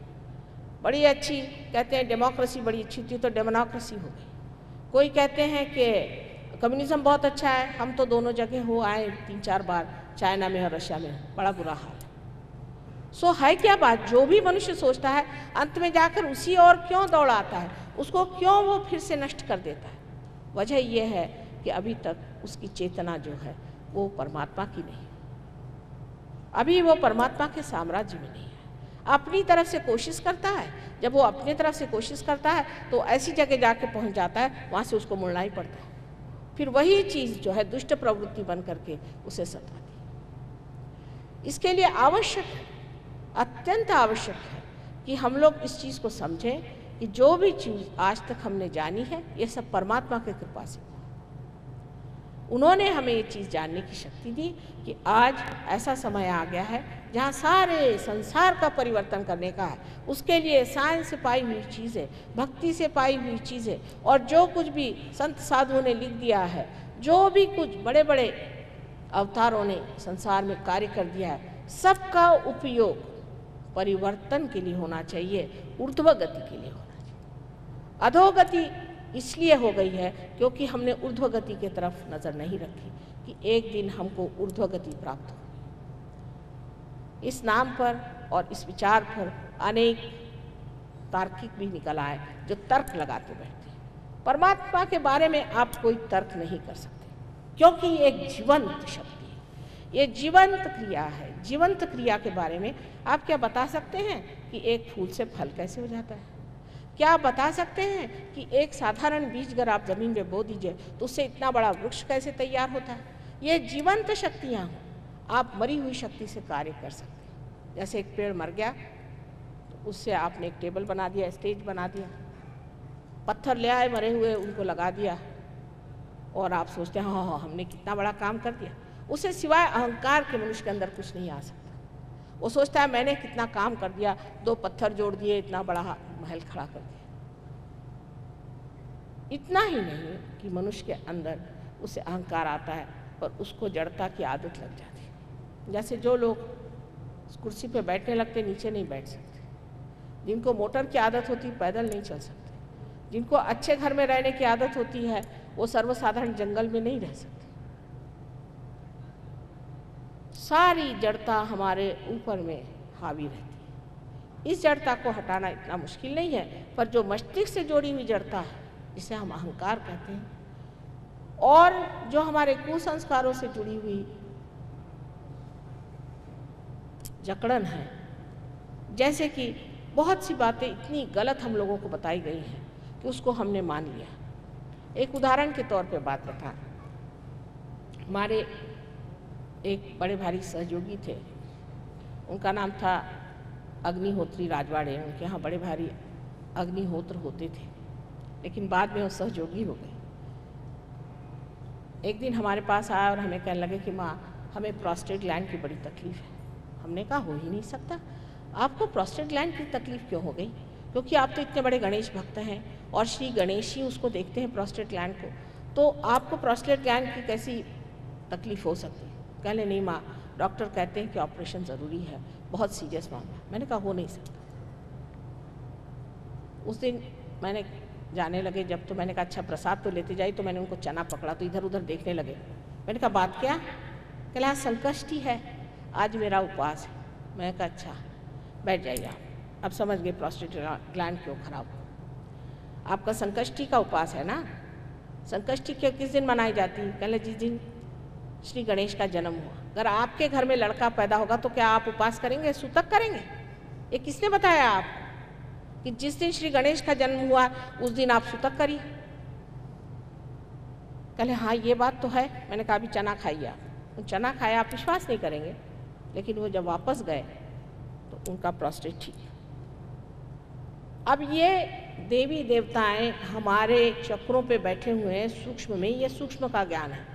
इसके बारे में बताने लगे तो लोग कहेंगे, बस बस, रहने दीजिए, ये तो हमने सब सुना हुआ है, ये कुछ सच नहीं। लेकिन अब उसका ज्ञान जो है, वो सिद्ध हो सकता है। जिस वक्त कुंडलिनी ऊपर चढ़ती है और जब वो रुक जाती है तो आपको इन देवी देवताओं के नाम लेने पड़ते हैं। जैसे जगदम्बा का जो स्थान है, वो हमारे स्टर्नम बोन के पीछे में जिसे हम हृदय चक्र कहते हैं। वहाँ पर है। इसको बहुत से लोग अनहत भी कहते हैं अनहत चक्र। क्योंकि ये जो आवाज़ है, हृदय की, इसको अनहत इसलिए कहते हैं कि इसमें कोई दूसरी चीज़ से टकरा करके आवाज़ नहीं निकलती, अपने आप निकलती है विदाउट परकशन वो यहाँ पर हृदय में, रीढ़ के पीठ की तरफ़ ये चक्र है। उसी से हमारा स्टर्नम बोन चलता है और 12 साल की उम्र तक हमारे स्टर्नम बोन में आप लोग जानते होंगे कि एक इस तरह की शक्तियाँ तैयार होती हैं जो कि सारे शरीर में फैल जाती हैं। और जब ये एंटीबॉडीज़ ये जब तैयार हो जाती हैं तो वो कोई सी भी बाहरी शक्ति उसमें आ जाए तो उससे लड़ती है, उससे झगड़ती है। और उनको नष्ट कर देती। है जैसे कोई आदमी है, कहीं बीमारी की जगह पहुँचा और उसको बीमारी पकड़ना चाहती तो ये लड़ती है उनके साथ। इसीलिए ज्वर आ जाता ये श्री जगदम्बा की शक्ति है। जब ये शक्ति क्षीण हो जाती है तो अनेक तरह की बीमारियाँ हो जाती है। जैसे औरतों को जो स्तन का कैंसर हो जाता है, ब्रेस्ट कैंसर हो जाता है, वो भी इसी से हो जाता है। ये जो चक्र है बहुत महत्वपूर्ण है जगदम्बा का। इस चक्र को जब हानि होती है तो ऐसा मनुष्य भय से कंपित हो जाता है, बहुत डरपोक हो जाता है। विशेषकर स्त्रियों में जबकि उनका मातृत्व गड़बड़ हो जाता है, जैसे कि एक पति है, वो बच्चलन है, दूसरी औरतों की तरफ़ उसकी नज़र है। यह औरत मनी मन उसे संशयित हो जाती है और उसके अंदर एक अरक्षिता आ जाती है। उस अरक्षिता के कारण, उस इनसिक्योरिटी के कारण ये चक्र खराब जाता है और उसके कारण उसे ब्रेस्ट कैंसर हो सकता है। अब आप सोचिए कि कितनी ये सूक्ष्म बात है। लेकिन ऐसी कहा जाए कि देखिए, स्त्री को सुरक्षित रखिए। यह आपकी पत्नी है। आपकी पत्नी है, दूसरे की नहीं। आप अपनी पत्नी का आनंद नहीं दे सकते। अपने पत्नी को आप ठीक से नहीं रख सकते हैं। तो आप बेकार आपके अकल ही कम है। जो चीज़ आपकी है, आपकी मोटर है, आप उसको ना इस्तेमाल करते हो रास्ते के बसेस को देखते फिरिए तो आपको लोग क्या कहेंगे, पागल है या क्या? इसी प्रकार की बहुत सारी बातें मनुष्य मूर्खता की करते रहता है और उस मूर्खता के कारण अनेक रोग हो जाते हैं। अगर ये चक्र ठीक हो जाए, स्त्री का तो उसका ब्रेस्ट कैंसर ठीक हो सकता है। जो इलाज होता है वो मूलतः सहज में हो, होता है। इस तरह से नहीं कि बाह्य से। कोई दवा दारू वगैरह नहीं दी जाती। जैसे कि एक पेड़ है उस पेड़ में कुछ खराबी आ गई। अब उसके अगर समझ लीजिए पत्ते झड़ रहे हैं तो उस पत्तों में अगर आप दवा दीजिए तो कोई फ़ायदा नहीं होने आपको जड़ में उतरना चाहिए और जड़ में ही उसकी दवा देनी चाहिए। जब जड़ में दवा दीजिएगा, तभी तो ना वो सब जगह पहुँचेगी और सबको मिल सकती है। लेकिन उसके लिए आपको सूक्ष्म होना चाहिए, और वो सूक्ष्म होना ही पार होना है। वही उसको कहते हैं आत्मबोध सेल्फ रियलाइजेशन जो कि बाइबल में बैप्टिज्म बताया गया है, ये सब ढोंग है।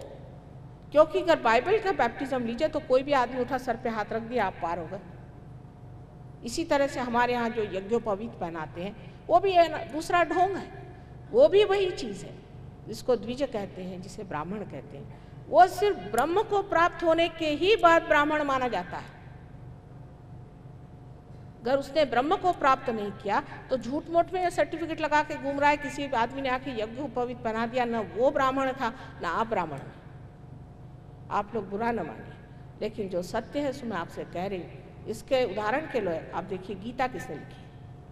गीता का लिखने वाला व्यास महाब्राह्मण माना जाता है। लेकिन उसके बाप का पता नहीं। माँ उसकी एक मछियारिन थी। वाल्मीकि ने रामायण लिखी। जानबूझकर परमात्मा ने ऐसे लोगों से ऐसे महत्व कार्य किए कि आपको सिखाया जाए कि ये सब फालतू ढकोसलेबाजी में। आप अपने को ब्राह्मण समझ लीजिए तो ब्राह्मण नहीं होंगे। आप अपने को कुछ समझ लीजिए तो वो नहीं होंगे।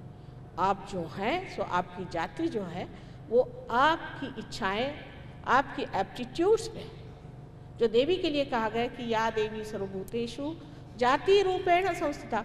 वो जाति जो है, वो आपकी एप्टीट्यूड है। क्या आप परमात्मा को खोजने वाले हैं? अगर आप परमात्मा और सत्य को खोजने वाले हैं और शुद्ध हृदय से खोजने वाले हैं तो आप ब्राह्मण तत्व को पा सकते हैं। जिसने ब्रह्म को जाना, सो ही ब्राह्मण। उसको द्विज कहा जाता है क्योंकि उसका दूसरा जन्म होता है। और एक चिड़िया को भी कहा जाता है कि वो द्विज है, क्योंकि उसका भी एक अंडा होता है फिर पक्षी होता है इसी प्रकार हम लोग अंड स्वरूप हैं। अभी तक हमारा जो दिमाग है, मस्तिष्क है, वो हमारे अहम भाव में छिपा हुआ है। इसको जब तक खोला नहीं जाएगा, तब तक हमारा दूसरा जन्म नहीं हो सकता। और जब तक हमारा दूसरा जन्म नहीं होता है, तब तक हमारे पास कोई भी तरह की सुरक्षितता नहीं है और न ही हम किसी उड़ान में आ सकते हमारे पंख फैलाने के लिए भी चाहिए कि इस हमारी अंड दिशा दशा को तोड़ देना। इसको तोड़ने के लिए आप अगर प्रयत्न करेंगे तो नहीं हो सकता। कोई कहेगा कि मैं अपनी ईगो से लड़ता हूँ, कोई कहेगा मैं अपने सुपर ईगो से लड़ता हूँ, आप लड़ नहीं सकते, क्योंकि ये आपकी छाया है। आप अपनी छाया से कैसे लड़िएगा? छाया से लड़ने का एक ही तरीका है कि आप बराबर प्रकाश के नीचे खड़े हो जाइए तो कोई भी छाया नहीं आ सकता। पर आप स्वयं प्रकाश ही हो जाइए, फिर प्रकाश की कोई तो छाया नहीं है, वो तो सबकी छाया हटाने वाला है। इसी प्रकार आप सबको यह आत्म साक्षात्कार प्राप्त होना चाहिए। वंगभूमि में अनेक महान महान लोग हो गए इनके बारे में पढ़ा है, इनकी किताबें पढ़ी हैं और अत्यंत आदर युक्त हृदय से मैं कहती हूँ कि इस भूमि में बहुत कार्य हो सकता है, किंतु थोड़ी सी नम्रतापूर्वक इस बात को समझने की कोशिश करें कि एक नए दायरे में हम जा रहे हैं, एक नई बातचीत हम कर रहे हैं। ये अत्यंत सूक्ष्म विश्व की बात है। लायन क्लब को देख करके बड़ी खुशी हुई कि कितना कार्य लायन क्लब कर रही है। लेकिन अगर इनके अंदर ये चीज़ चीज़ जागरूक हो जाए तो इनका खर्चा ही कम हो जाएगा। सहयोग में कोई खर्चा ही नहीं हम लोग तो एक पैसा भी नहीं लेते। कोई खर्चा ही नहीं है। क्योंकि आपने हाथ उठाया और इस तरह से कुंडलिनी उठा दी, हो गया। आदमी पार, उसकी बीमारियाँ ठीक। उसको सिर्फ़ थोड़ा सा सहयोग सीखना चाहिए। हर तरह की उसकी बीमारियाँ ठीक हो जाती, उसका मस्तिष्क ठीक हो जाता है, पागल लोग ठीक हो जाते हैं। तो जो चीज़ें इतनी दुर, दुर्भर लगती हैं और इतनी दुर्धर लगती हैं और इतनी परेशानी में डाल देती है, वो सारी चीज़ें हठात एक क्षण भर में सहज में ठीक हो सकती इसमें लक्ष्मी जी का भी वरदान मिलता। है क्योंकि लक्ष्मी जी भी हमारे एक चक्र में बैठी हुई हैं। और कल मैं इसके बारे में आपको बताऊँगी कि लक्ष्मी जी का कितना बड़ा वरदान आपको मिल सकता है। अब इस देश में बड़ी गरीबी है, लोग कहते हैं, ये देश बड़ा गरीब है। इसका कारण यही है कि हमारे योग को, हमारी परंपरा को छोड़ करके हमने न जाने कौन सी, न पाश्चिमात्य पौरात्य कहीं लटकती हुई ऐसी जो हमने स्थिति ले ली है। उससे बदल करके ये जानना चाहिए कि हमारा धरोहर है, ये हमारा हेरिटेज है। इसे हमें पाना है और इसमें ही जागना है और इसी में राज करना है। सारा संसार आपके पैर पे लूटेगा आपको आश्चर्य होगा कि सहयोग पाश्चिमात्य देशों में ज़्यादा ज़ोर पकड़ता है, क्योंकि वहाँ लोगों की बुद्धि ज़्यादा तीक्ष्ण हमसे है और इतना ही नहीं, वो परेशान हो गए, वो तंग आ गए हैं दुनिया से। उनको उस दुनिया से बिल्कुल भाग जाना चाहते हैं। कितने ही लोग सुसाइड करते हैं। जितने भी देश अत्यंत धनवान हैं, जैसे स्विट्ज़रलैंड है, नॉर्वे है, स्वीडन है, सबसे धनवान देश हैं, वहाँ पर कंपटीशन लगता है आपस में, स्पर्धा लगती है कि सबसे ज़्यादा कौन सुसाइड करता है। वही हालत यहाँ आने वाली है। अगर आपको धन संपत्ति मिल जाए और परमात्मा न मिले, परमात्मा के बगैर कोई सी भी चीज़ लेना धोखे की बात है। मनुष्य में कोई कंट्रोल ही नहीं रह जाता। और उपभोग उसका नहीं कर सकता। जिस मनुष्य के पास संपत्ति हो और परमात्मा का आशीर्वाद नहीं हो, वो आदमी उसका उपभोग नहीं कर सकता। वो कोई ना कोई गलत रास्ते में जाकर अपना सत्यानाश कर देगा। समाधान नाम की चीज़। ऐसे आदमी के पास आ नहीं सकती। कल आपको सारे चक्रों के बारे में मैं व्यवस्थित रूप से समझाऊँगी। लेकिन ये सारी बातें समझाने से पहले मुझे बताना है कि इसकी कोई ज़रूरत है नहीं। समझ लीजिए आज आपसे इस कमरे में आते ही कोई कहे कि अच्छा भाई बिजली कैसे जलाए? तो कहेंगे वो बटन है, जलाइए, सारी बिजलियाँ जल जाएँगी। ऐसा ही आपके अंदर पूरा इंतज़ाम, पूरी व्यवस्था परमात्मा ने कर रखी है। सिर्फ़ आपको मेंस से लगाना। अब आप कहेंगे कि ये बताइए कि बिजली का इतिहास क्या था? इसको किसने खोज के निकाला? और इसका कौन सा, कौन सी कौन से कौन से संस्थाओं से इसका संबंध है? और ये कौन से ऑर्गेनाइजेशन से सारा चलता है? तो सरदर्द हो। जाए उसको सुनते सुनते सालों बीत जाएँगे। उससे अच्छा ये, बाबा, जल्दी से लगा लो, तुम्हारे करने वालों ने कर दिया काम। आप सिर्फ़ बत्ती जलाइए, काहे को सर फोड़ रहे लेकिन इंसान को आदत है, सीधे तरीके से खाना नहीं खाएगा, इधर से खाएगा। ये सारे समझाने से पहले आज आप सब पार हो जाइए। बहुत शुभ अवसर है, नवमी का दिन। देवी का विशेष आशीर्वाद है नवमी के दिन इसे पाइए और पा करके इस पे जमिए। जिस तरह से एक बीज से अंकुर निकलने के बाद वो तो सहज में ही अंकुर निकल आता है, उसको संभालना पड़ता है। ऐसे ही सहयोग में आपको आत्म साक्षात्कार होने के बाद भी उसे संभालना पड़ता है। जिस प्रकार एक दीप जलते ही उसको झंझावात से संभालना पड़ता है। उसी प्रकार अपने हृदय के दीप को भी आपको संभालना होगा और उसको बड़े संजो कर उसकी जोत ठीक करनी पड़ेगी। फिर इसी जोत से अनेक जोत आप जला सकते हैं। हम तो क्या हैं? ऐसे ही बीच में हैं जो कह रहे हैं और बता रहे हैं। क्योंकि इसका बताने वाला भी कोई चाहिए, जो कि हमने सूक्ष्म की बातें की हैं। ये समझाने के लिए डॉक्टरों से बात करनी थी तो थोड़ी डॉक्टरी भी पढ़ ली, फिर साइकोलॉजिस्ट से बात करनी, थोड़ी साइकोलॉजी भी पढ़ ली। लेकिन इसको देखने के बाद लगता है कि अभी सब बच्चे ही हैं। इनको अभी बहुत कुछ जानना है, बहुत कुछ जानना है, क्योंकि अभी तक परमात्मा के साम्राज्य में नहीं आए परमात्मा का साम्राज्य अत्यंत सुंदर, अत्यंत कुशल है। जो आपकी टेली यहाँ सोचते हैं कि इलेक्ट्रिसिटी फेल हो जाती है कहीं, कुछ टेलीकम्युनिकेशन फेल हो जाता है, उनके साम्राज्य में कभी कुछ नहीं फेल होता कोई भी चीज़ फेल नहीं होती। सब चीज़ इतनी बढ़िया और इतनी अचूक, उसमें कोई भी गड़बड़ आपको नहीं मिलेगी। कहीं भी कोई दोष आपको नहीं मिलेगा। आप आश्चर्यचकित होंगे कि यहाँ बैठे बैठे आप बता सकते हैं कि किसका क्या हाल है। और यहाँ बैठे बैठे उनका हाल आप ठीक कर सकते हैं। लेकिन उसकी धारणा करनी पड़ेगी, अंदर वो शक्ति लेनी पड़ेगी। आज किसी ने एक प्रश्न पूछा कि माँ, सब लोग क्यों नहीं इतना पाते? मैंने कहा, बात यह है, पाते तो बहुत लोग लेकिन अगर आप गंगा जी में एक घाघर डालें तो घाघर भर सकती है। और आप अगर पत्थर में पानी लेना चाहें तो कैसे लेंगे? जो लोग पत्थर हैं, उनको पहले घाघर में ढालना पड़ेगा तब कहीं जा कर के ये काम बनेगा। तो शुरुआत में जो जीवंत कार्य होता है, वो ऐसा होता है कि पहले सरल कार्य कर लेता है, फिर उसके बाद जो कठिन कार्य बाद में करता है। इसलिए जो सरल, सहज लोग हैं, वो आसानी से पा जाते हैं। मैंने इनसे बहुत बार कहा कि कलकत्ते के शहर से उठ कर के आप घर के हाथों में घूमिए तो फटाफट यहाँ पर इतने लोग पार हो जाएँगे, इतने लोग पा लेंगे क्योंकि गंगा की सशे श्यामलाम भूमि इस भूमि में तो न जाने कितना कार्य हो सकता है। इसी प्रकार मैं राजस्थान में गई थी। राजस्थान की भूमि एक कमाल की है। और जब मैंने देखा कि वहाँ पे जो गाँव के लोग आते हैं, उनमें इतनी श्रद्धा और इतना प्राप्त करने की अदम्य शक्ति एक बार एक बैलगाड़ी से मैं जा रही थी। गाँव में घूमना तो बैलगाड़ी में होता है। तो बैलगाड़ी में बैठा हुआ आदमी कबीरदास जैसी बातें करा था। मैंने कहा, हे देखो तो कबीर यहाँ कैसे बैठे बातें कर रहा है? मैं कहा, भैया, तुमने ये सब कहाँ से जाना? कहले माँ, आप ही ने तो हमको पार कराया है।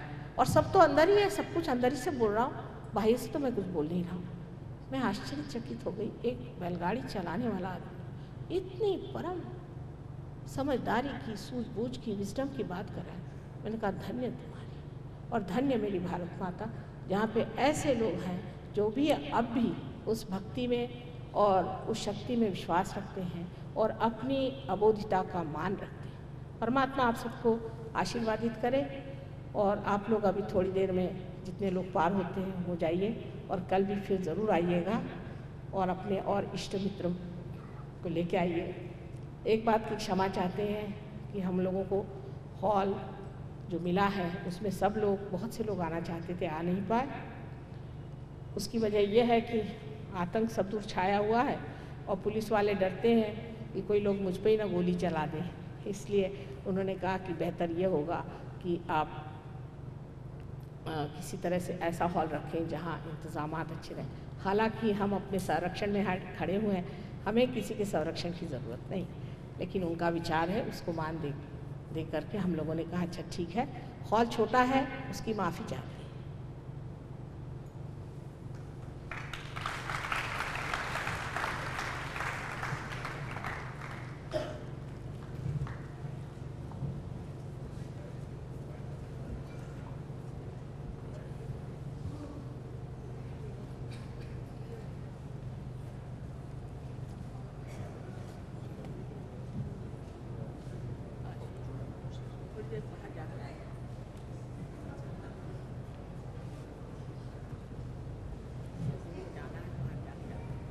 श्री माता जी का आदेश है कि जो भाई बहन ज़रा बाहर जाकर आना चाहे वो कि आ जाए और उसके बाद श्री माता जी आपको साक्षात्कार आपको देंगे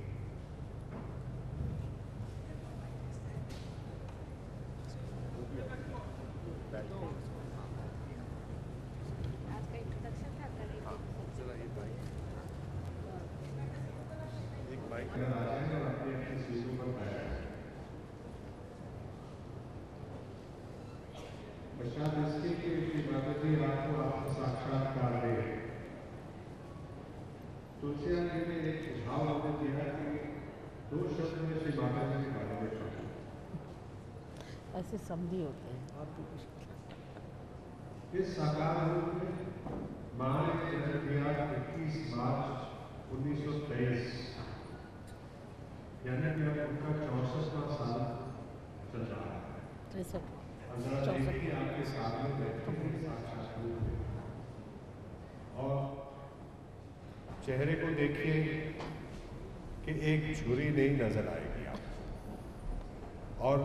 समय एक ऐसे आनंद और उल्लास में रहती हैं कि इनको देखकर वाकई ऐसे महसूस होता है कि उम्र में चाहे जिस भी उम्र के आप हों, इनके सामने बच्चे ही बन जाते हैं।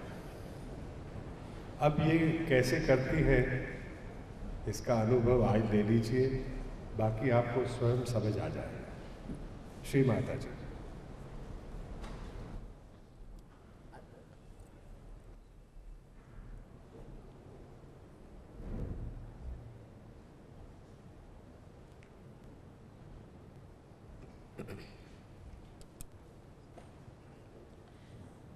आप सबसे पहले आप लोगों से एक विनती है।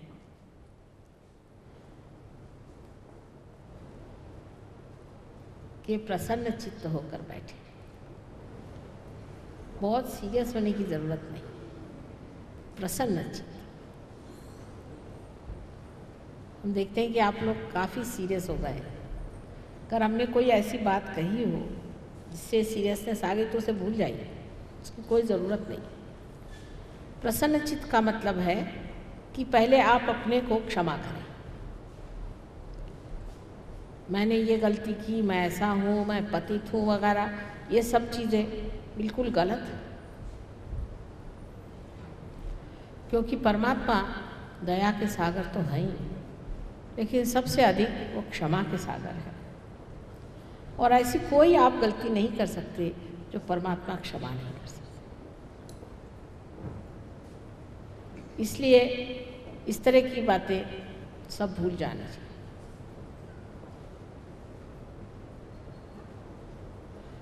ये तो वो लोग बताते हैं जो कि आपको दुखी कर सके और आपसे कुछ ऐटना चाहते हैं।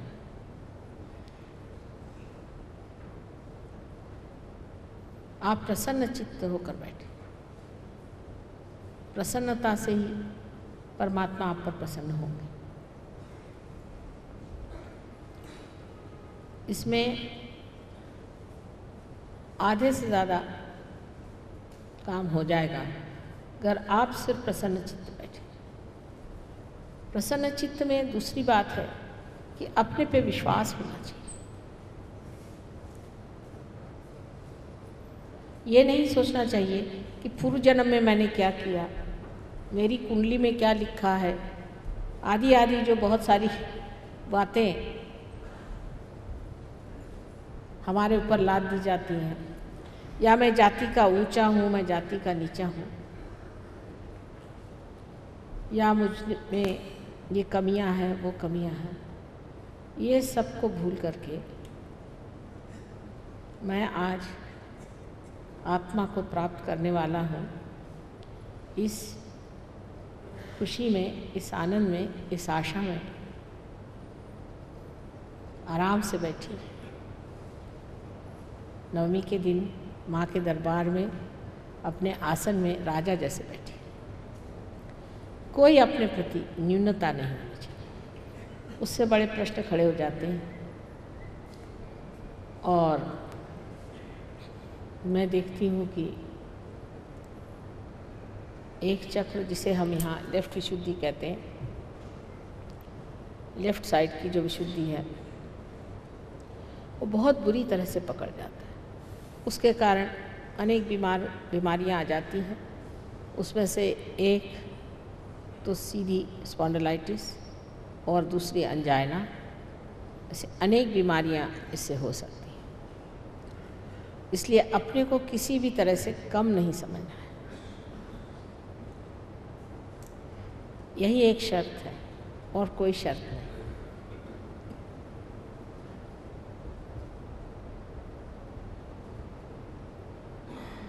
और अपने माइंड को एक साइंटिस्ट की तरह खोल करके बैठे।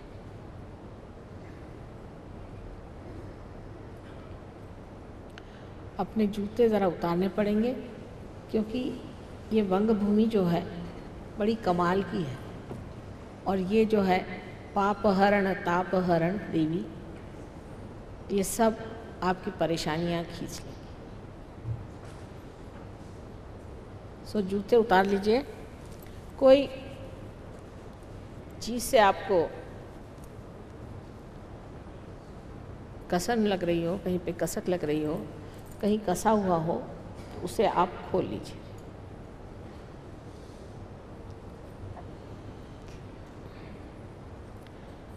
जैसे कि मैं बिल्कुल ही रोज़मर्रा की भाषा में, सहज में आपसे सारी बात कह रही हूँ।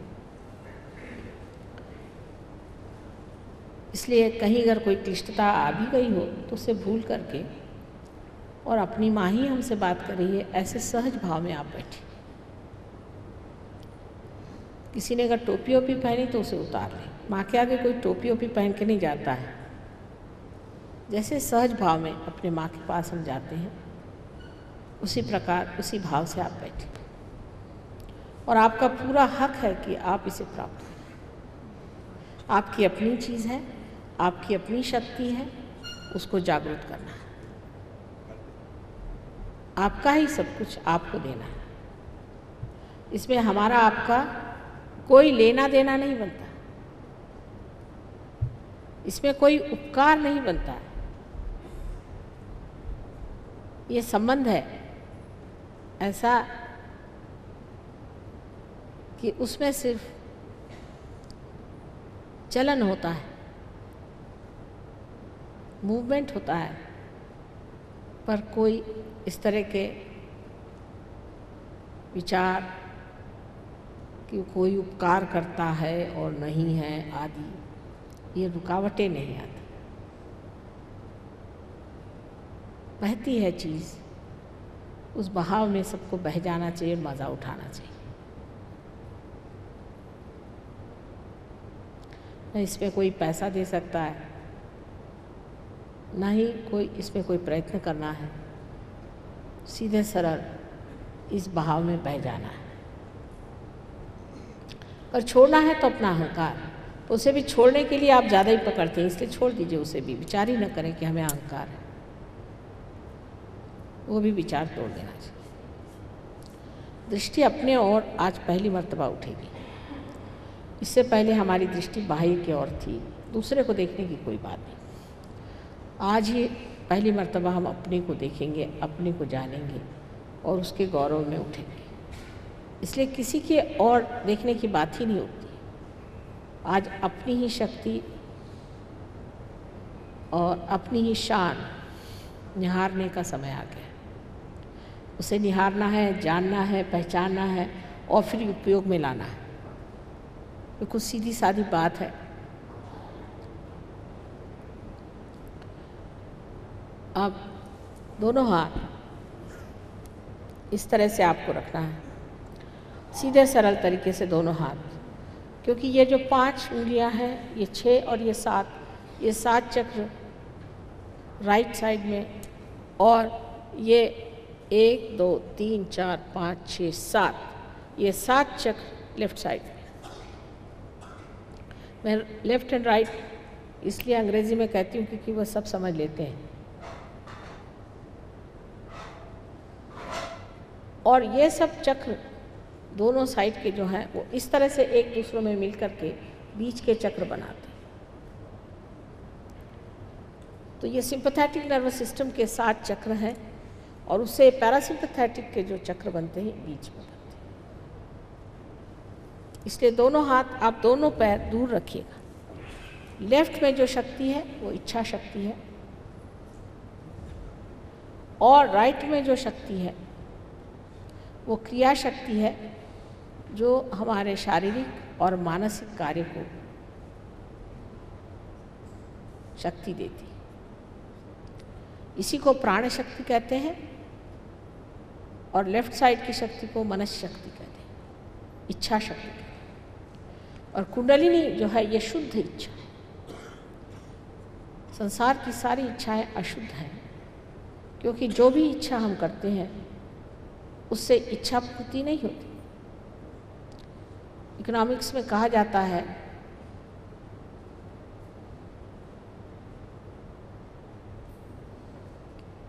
in general desires are not satiable in particular हो जाती है बट इन जनरल नहीं। आज ये चीज़ ली तो कल वो तो कल वो तो कल वो तो वो। इसलिए वह अशुद्ध इच्छा है। शुद्ध इच्छा एकमात्र मनुष्य में है जो है, वो है उसकी कुंडलिनी। और वो शुद्ध इच्छा ये है कि मैं आत्मा स्वरूप बन के उस परमात्मा के प्यार से संबंधित हो जाऊँ। उस ब्रह्म शक्ति में लीन हो जाऊँ। यही शुद्ध इच्छा है।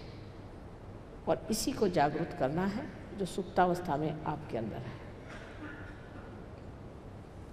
अब इस तरह से हाथ आप रखिएगा। दोनों हाथ और उसके बाद जब आँख बंद करिएगा तो राइट हैंड अपने हार्ट पे पहले रखना होगा। ये हृदय का चक्र, हृदय जो है, वो चक्र चक्र तो बीच में है, ये हृदय है। हृदय में आत्मा का स्थान है। उसके बाद ये हाथ नीचे में, पेट के ऊपरी हिस्से में लेफ़्ट हैंड साइड में, सारा काम होगा लेफ़्ट हैंड साइड में। इस तरह से दबाया जाएगा। उसके बाद यही हाथ नीचे में, पेट के निचले हिस्से में फिर रखा जाएगा। फिर यही हाथ ऊपर लाया जाएगा। फिर यही हाथ फिर से हृदय पे रखा जाएगा। अब ये हाथ इस जगह रखा जाएगा और गर्दन को इस तरह से मोड़ दिया जाएगा। ये जो कोण हमारी गर्दन और हमारे कंधे के बीच में है, उसके ऊपर इस तरह से रख के गर्दन को इस तरह से मोड़ देना चाहिए। और ये चक्र आप सभी लोगों का कुछ ना कुछ पकड़ा हुआ है, जिसमें मनुष्य अपने को हमेशा दोषी समझता है। आज बहुत ज़्यादा पकड़ा हुआ है। कोई भी दोष आपने नहीं किया। आप बिल्कुल दोषी नहीं है। अंग्रेज़ी में कहेंगे I am not guilty at all फिर ये हाथ अपने कपाल पर, माथे पर आड़ा ऐसा रख के ज़ोर से दबाना होगा दोनों तरफ़ से। और फिर पीछे आज्ञा चक्र की पिछली खिड़की पर इस तरह से रख करके गर्दन पीछे डालनी है। फिर हाथ को पूरी तरह से तनाव दे करके इसका, इसकी हथेली जो है, ये बराबर ब्रह्मरंध्र में यहाँ जिसे फॉन्टनेल बोन एरिया कहते हैं, जहाँ तालु है, तालु भाग में रख के दबा के और सात मरतबा उसको घुमाना है। बस। इतना आप ठीक से करिए, काम बन गया। उसके बाद आप देखिएगा कि आप ही के इस ब्रह्मरंध्र को छेद कर कुंडलिनी बहेगी और आपके सर में से ही ठंडी ठंडी ठंडी ठंडी हवा आने लग जाए फिर आपके हाथ में भी आप देखिएगा चारों तरफ़ फैली हुई ये रूहानी शक्ति आपको महसूस होगी आप जानिएगा, जो ठंडी ठंडी लहरें आपके हाथ में आई। यही शक्ति, ब्रह्म शक्ति है। इसी सारे कार्य संसार के होते हैं। अच्छा अब आप सब लोग अपनी आँखें बंद कर लें। अगर चाहे तो चश्मा भी उतार लें, क्योंकि आँख अब खोलनी नहीं जब तक मैं नहीं कहूँगी, आप आँख नहीं खोलिएगा, कृपया। क्योंकि आपका चित्त अंदर रहना चाहिए। सब लोग करें कृपया सब लोग इसे करें तो बड़ी मेहरबानी हो जाएगी। बहुत मेहरबानी होगी अगर सब लोग इसे पूर्ण श्रद्धापूर्वक करें। अभी का एक अनुभव मुझे आया है, इससे बड़ा दुख हुआ कि एक पति और पत्नी सहयोग में प्रोग्राम में आए और पत्नी तो पार हो गई क्योंकि उन्होंने पार होने का प्रयत्न किया और पति नहीं हुए। ये रियाद की बात है। कुछ ज़्यादा लोग नहीं थे। न जाने क्यों, उनका मैं तो ये सब नहीं करने वाला बैठे रहे। और आज उनकी मृत्यु हो गई है, उनको कैंसर हो गया। जब हम बम्बई आए तो पता हुआ बड़े बीमार हैं। जब हम पहुँचे तो इतनी बुरी हालत थी कि हम बचा नहीं पाए उन्हें। बड़ा दुख रहा। बीवी भी संभली हुई थी। और कहने, माँ, आप भी क्या कर सकती हैं? ये नहीं मैं कहती कि सहयोग में नहीं आने से उनको हुआ, पर सहयोग में आने से कैंसर नहीं हो सकता, मुश्किल और होने लग जाए तो फ़ौरन पता चल जाएगा। कोई सी भी बीमारी होगी, फ़ौरन पता चल जाएगा और उसे ठीक भी कर सकें। सिर्फ़ बीमारी नहीं, अनेक चीज़ें। अच्छा अब लेफ़्ट हैंड हमारी ओर रखें और राइट हैंड हार्ट पे रखें। अब आँख बंद कर लें। इसके बाद कृपया आँख न खोले। कोई भी इंसान आँख न खोले। कृपया। एक माँ की विनती है कि सब लोग इसे करें और अपनी शक्ति को प्राप्त करें। अब हाथ रख करके और पूर्ण हृदय से एक प्रश्न मुझे करें। मुझे आप माँ कह सकते हैं, चाहे श्री माता जी कहें, जो आप ठीक समझें। माँ क्या मैं आत्मा हूँ? ये बड़ा मूलभूत प्रश्न है, ज़ोर से नहीं, मन में कहिए। मन में पूछिए, मन में पूछिए हृदय पर। पूछना है, माँ, क्या मैं आत्मा हूँ?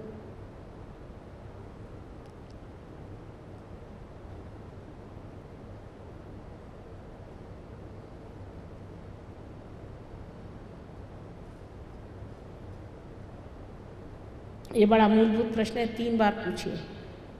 जैसे कि कंप्यूटर को प्रश्न पूछने से उत्तर आता है, उसी प्रकार आप भी एक कंप्यूटर है। उसका अभी चलना शुरू नहीं हुआ। बस इतनी ही बात है। अगर आप आत्मा हैं तो आप अपने स्वयं के गुरु भी हैं। इसलिए दूसरा प्रश्न पूछिए, इस हाथ को राइट हैंड को पेट के ऊपरी हिस्से में रख के लेफ़्ट हैंड साइड में सारा काम है। पेट के ऊपरी हिस्से में राइट हैंड को रखिए, लेफ़्ट हैंड साइड में दबा कर रखिए। और पूछिए दूसरा प्रश्न जो बड़ा मूलभूत है, माँ, क्या मैं स्वयं का गुरु हूँ?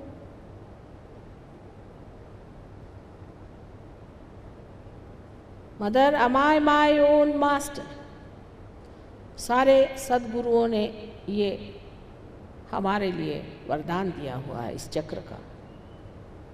ये गुरु विद्या का चक्र है।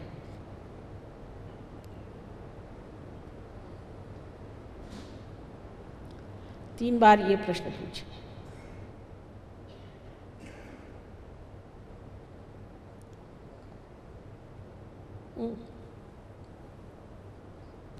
दबा कर रखें। पेट पर दबा कर लेफ़्ट हैंड साइड में रखें। अब ये हाथ पेट के निचली हिस्से में लेफ़्ट हैंड साइड में रखें। पेट के निचली हिस्से में लेफ़्ट हैंड साइड में फिर से दबा करके ये जो चक्र है, यही परमात्मा के सारे कायदे कानून को कार्यान्वित करता है। और इसी से हम शुद्ध ज्ञान को जानते हैं, शुद्ध विद्या को जानते हैं। यही शुद्ध विद्या है जिससे हम परमात्मा की सारा साइंस जानते हैं, परमात्मा के शक्ति का साइंस जानते हैं। अब आप स्वतंत्र हैं और आपकी स्वतंत्रता का मान हमें करना ही पड़ेगा, क्योंकि आपको परम स्वतंत्रता देनी है।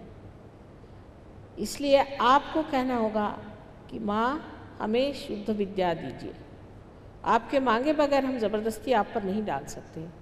इसलिए छः मरतबा कृपया कहिए, माँ, हमें आप शुद्ध विद्या दीजिए। छः मरतबा कहिए, शुद्ध विद्या।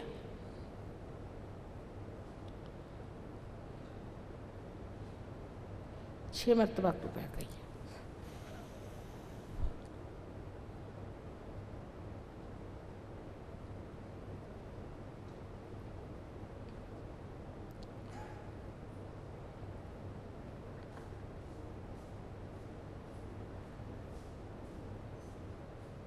आप छः मरतबा पूर्ण हृदय से कहने के बाद कुंडलिनी का जागरण शुरू हो जाता है। पूर्ण हृदय से कहिए तो कुंडलिनी का जागरण शुरू हो जाता है।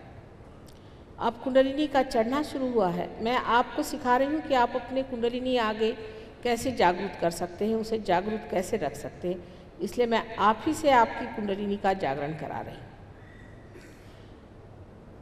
अब ये जान लेना चाहिए कि कुंडलिनी जब ऊपर चढ़ती है तो उसके अनेक चक्रों से उसको भेदन करना पड़ता है तो उसके ऊपर का जो चक्र है, जिसको कि हम गुरु विद्या का चक्र कहते हैं, उस पर आप हाथ रखिए, जो कि पेट के ऊपरी हिस्से में लेफ़्ट हैंड साइड में है, वहाँ अपना राइट हैंड ज़ोर से दबा के पकड़िए।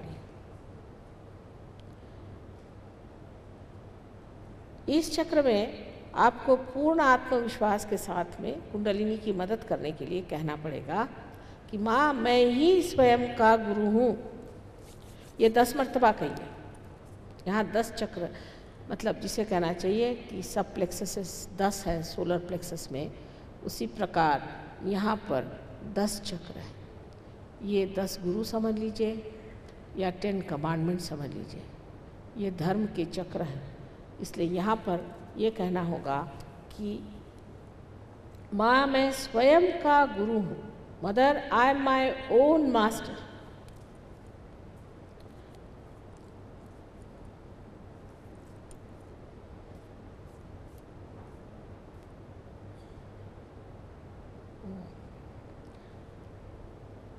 पूर्ण आत्मविश्वास से कही इसमें आपने सारे सदगुरुओं की जो मेहनत थी, उसको फल दे दिया।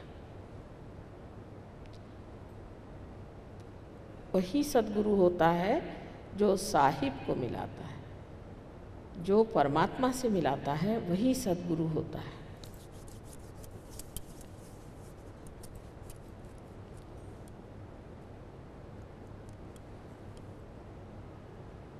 अब कुंडलिनी इस चक्र को लांघते हुए उसके ऊपरी चक्र में माने हृदय चक्र पे आ पहुँची है। इसलिए हृदय पर अपना हाथ फिर से रखें। और ज़ोर से दबा करके उंगलियों से यहाँ पर आप कहिए, पूर्ण आत्मविश्वास के साथ, माँ, मैं, आत्मा हूँ, ये सबसे बड़ा सत्य है कि आप आत्मा है। शरीर, मन, बुद्धि, अहंकार आदि, ये सब व्याप हैं। और असलियत में आप आत्मा हैं। इसे आप बारह मरतबा कहिए कि, श्री माता जी, मैं आत्मा हूँ। पूर्ण विश्वास के साथ कहें, आप आत्मा ही हैं।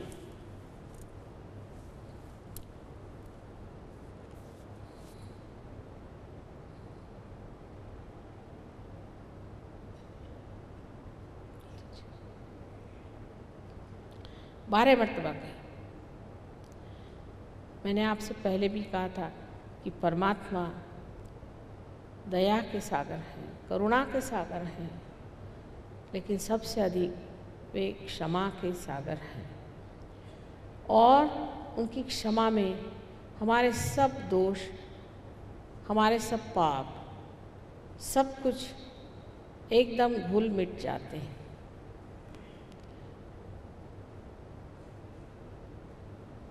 इसलिए अब अपना राइट हैंड आप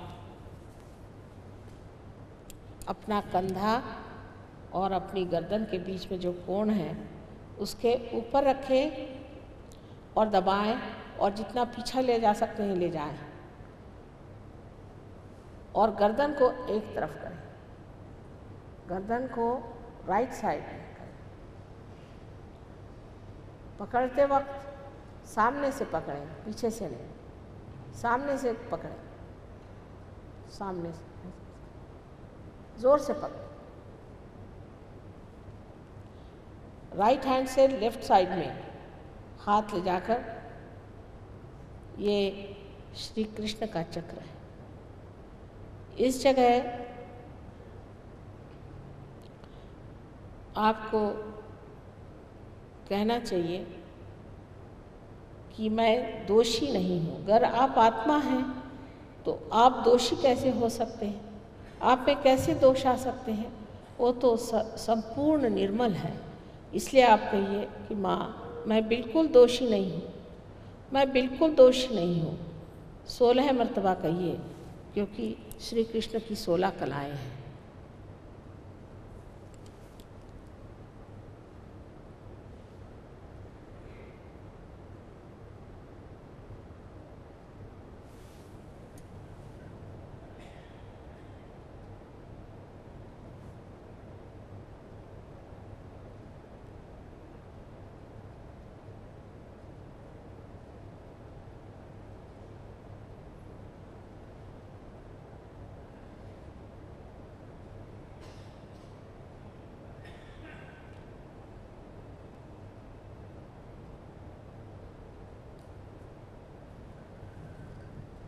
अब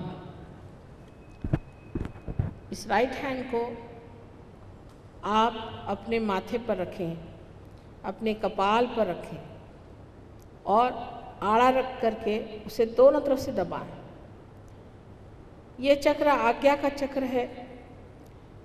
यहाँ पर हम सबको क्षमा कर देंगे। पूर्ण हृदय से कहें कि हमने सबको क्षमा कर दी। कितने बार की बात नहीं। बहुत से लोग कहते हैं कि माँ बहुत कठिन है क्षमा करना। लेकिन ये एक भ्रम है, ये मिथ्या है, एक मिथ है कि हम किसी को क्षमा क्या करते हैं और क्या न करते हैं। किंतु अगर हम किसी को क्षमा न करें तो हम गलत लोगों के हाथों में खेलते हैं। इसलिए मिथ्या को मिथ्या से मिटाने के लिए कहिए कि माँ, मैंने सबको संपूर्ण हृदय से क्षमा कर दिया। देखिए, परमात्मा उसका फिर जो भी इलाज करना है करेंगे। आप अपने हृदय से कह दीजिए कि माँ, मैंने सबको क्षमा कर दिया। चाहे तो गर्दन थोड़ी झुका कर कहें।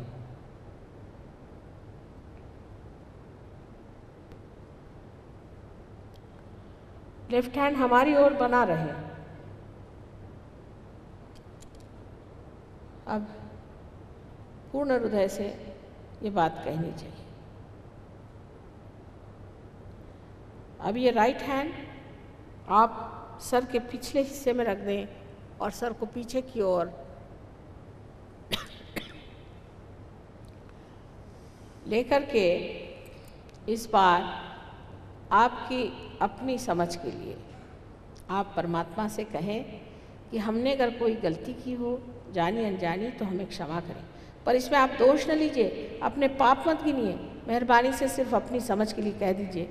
कि परमात्मा, अगर हमसे कोई गलती हो गई हो कभी तो तुम हमें क्षमा कर दीजिए। पूर्ण हृदय से कहें सिर्फ़ लेकिन इसके प्रति अपने को दोषी न ठहराएँ। अपने दोष न देखें, कृपया अपने दोष न देखें। वो परमात्मा को देखने दीजिए। वो उनका देखना होता है। हमारे देखने से फ़ायदा क्या? अब इस हाथ को राइट हैंड को पूरी तरह से खोल करके इसके हथेली का बीच का हिस्सा बराबर मध्य में सर पे बीचों बीच रखें, जहाँ पर बचपन में हमें तालू का स्पंदन होता था। यहाँ रख करके ज़ोर से दबा करके और इसे सात मरतबा घड़ी के कांटों के जैसे घुमाएँ क्लॉकवाइज ज़ोर से अपनी जो सर की चमड़ी है, उसे घुमाएँ। सात मरतबा। और यहाँ पर फिर आपकी स्वतंत्रता को हम कुछ नहीं कह सकते। आपकी स्वतंत्रता हमें मान्य है। यहाँ आपको खुद कहना पड़ेगा कि माँ, हमें आत्म साक्षात्कार दीजिए। इसकी ज़बरदस्ती नहीं हो सकती। इसलिए आप स्वयं कहिए कि माँ, कृपया हमें आप आत्म साक्षात्कार दीजिए। चाहे तो गर्दन नीचे झुका कर करिए पर सात मरतबा धीरे धीरे उसे घुमाएँ। सात से कम नहीं, ज़्यादा हो जाए हर नहीं तो सात से कम नहीं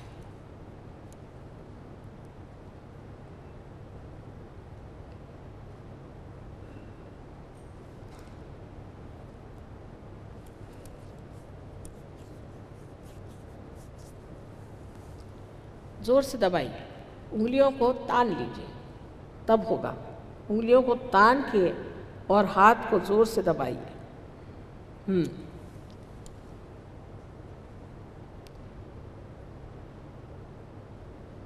अब हाथ नीचे ले लें। और धीरे धीरे आँखें खोली लाइट्स चलाने चाहिए। लाइट जलाई बाहर। की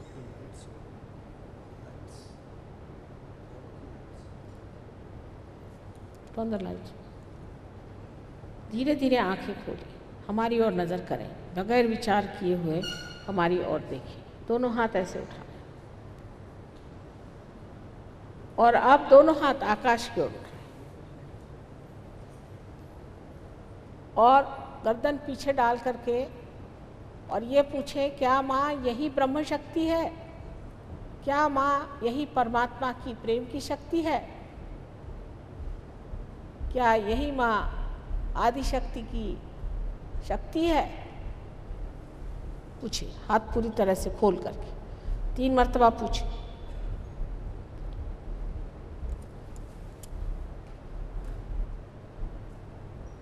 अब हाथ नीचे ले लीजिए।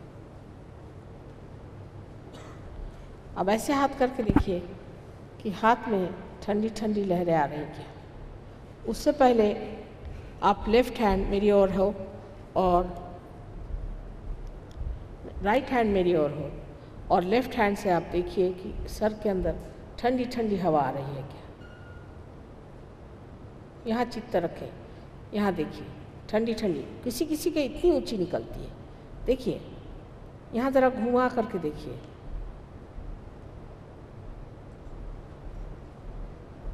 बहुत लोगों ने क्षमा ही नहीं किया। फिर से एक बार मन में कहें, मैंने सबको क्षमा कर दिया, कृपया कहें। बहुत लोगों ने क्षमा ही नहीं किया। क्षमा करना बहुत ज़रूरी है, बहुत ही ज़रूरी है। पूर्ण हृदय से क्षमा कर दें।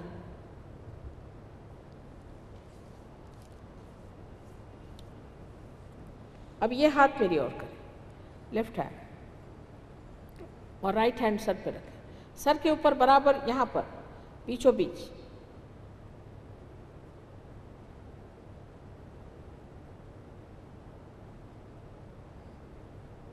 सर थोड़ा झुका लें, झुका कर देखें।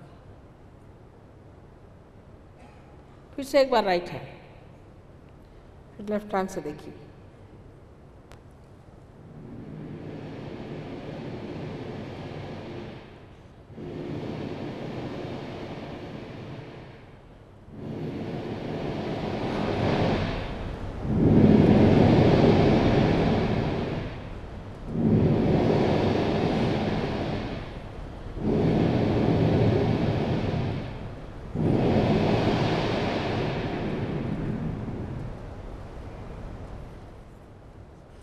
अब देखना है, कितने लोगों के सर में से ठंडक आई और कितने लोगों के हाथ में आए जिसके भी हाथ में या सर में ठंडक आई हो, वो दोनों हाथ ऊपर कर ऊपर तक, ऐसे, सो दिखाई ऊपर तक। बहुत सारे लोगों के आ गई अभी भी आ रही है, बहुत सारे लोगों के आ गई लेकिन कल और परसों जब आप आइएगा तो इसको जमा देंगे। और दूसरी बात है कि इसके बाद थोड़ा शांत रहना चाहिए। विचार करते ही कुंडली नीचे आ जाएगी। आज्ञा चक्र से ऊपर जाने से निर्विचार समाधि स्थापित हो गई है इस वक्त। आप मेरी ओर देख रहे हैं, बगैर कुछ सोचे बगैर कुछ सोचे हुए आप देख रहे हैं यह आपकी स्थिति है। इसके बारे में कल बताऊँगी मैं। लेकिन अब इसे संभालने के लिए कोई भी डिस्कशन आर्गुमेंट ना करते हुए शांत रहे और इसको प्रस्थापित करने के लिए दो दिन और है, उसमें सब ठीक हो जाएगा। आप सबको परमात्मा अनंत आशीर्वाद से पूर्ण करें।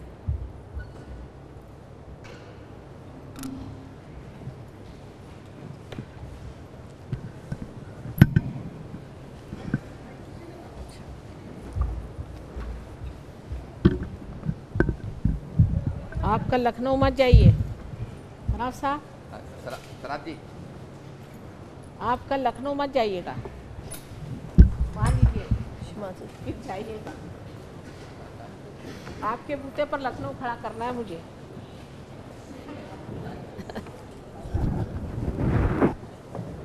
आपके बूते पर लखनऊ खड़ा करना है जैसे इनके के बूते पर चल सकते हैं ऐसा बिल्कुल मैंने बताइएगा।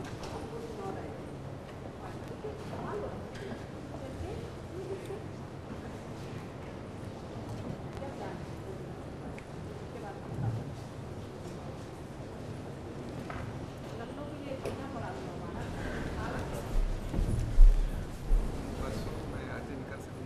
परसों आ जाइए कल का गैप होगा परसों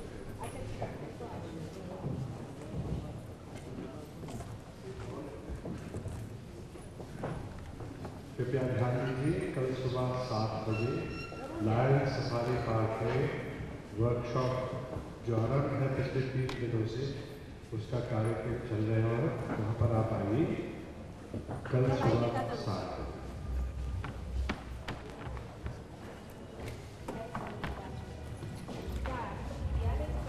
पाइएगा तब पैर छूनेगा ऐसे किसी उसकी क्यों पैर छूना पाइएगा तो आँखें भी सब चमक रही है हो रही ना तो पैर ऐसे बात न करो तो बस पहले की माँ सबसे पैर छुआ रही है नाराज़ है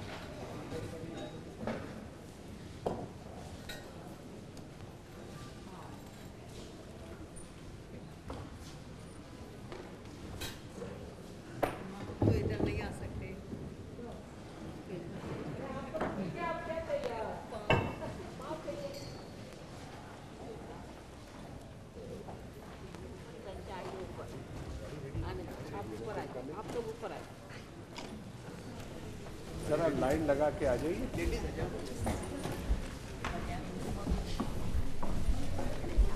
क्या कर रहे हो?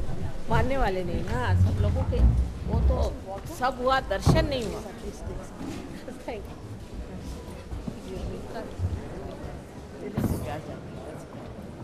हेलो हाँ आप तो खूब अच्छे से हो गए खुश रहो, ठीक है।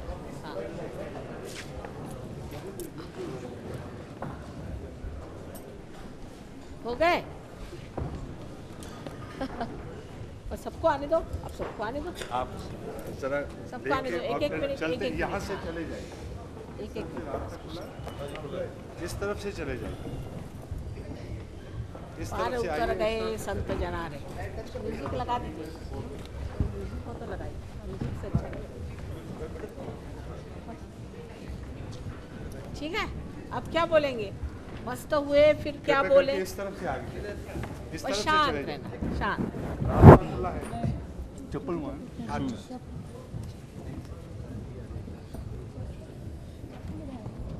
है आशीर्वाद देकर आगे बढ़िएगा पीछे बहुत लोग खड़े हैं। हाँ, आप बहुत देर मत प्लीज़ चलते जाइए तो को चांस दीजिएगा।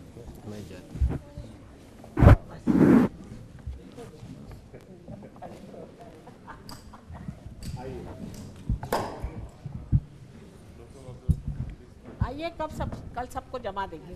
पक्के आप लोग आप लोग दीजिएगा फिर चलो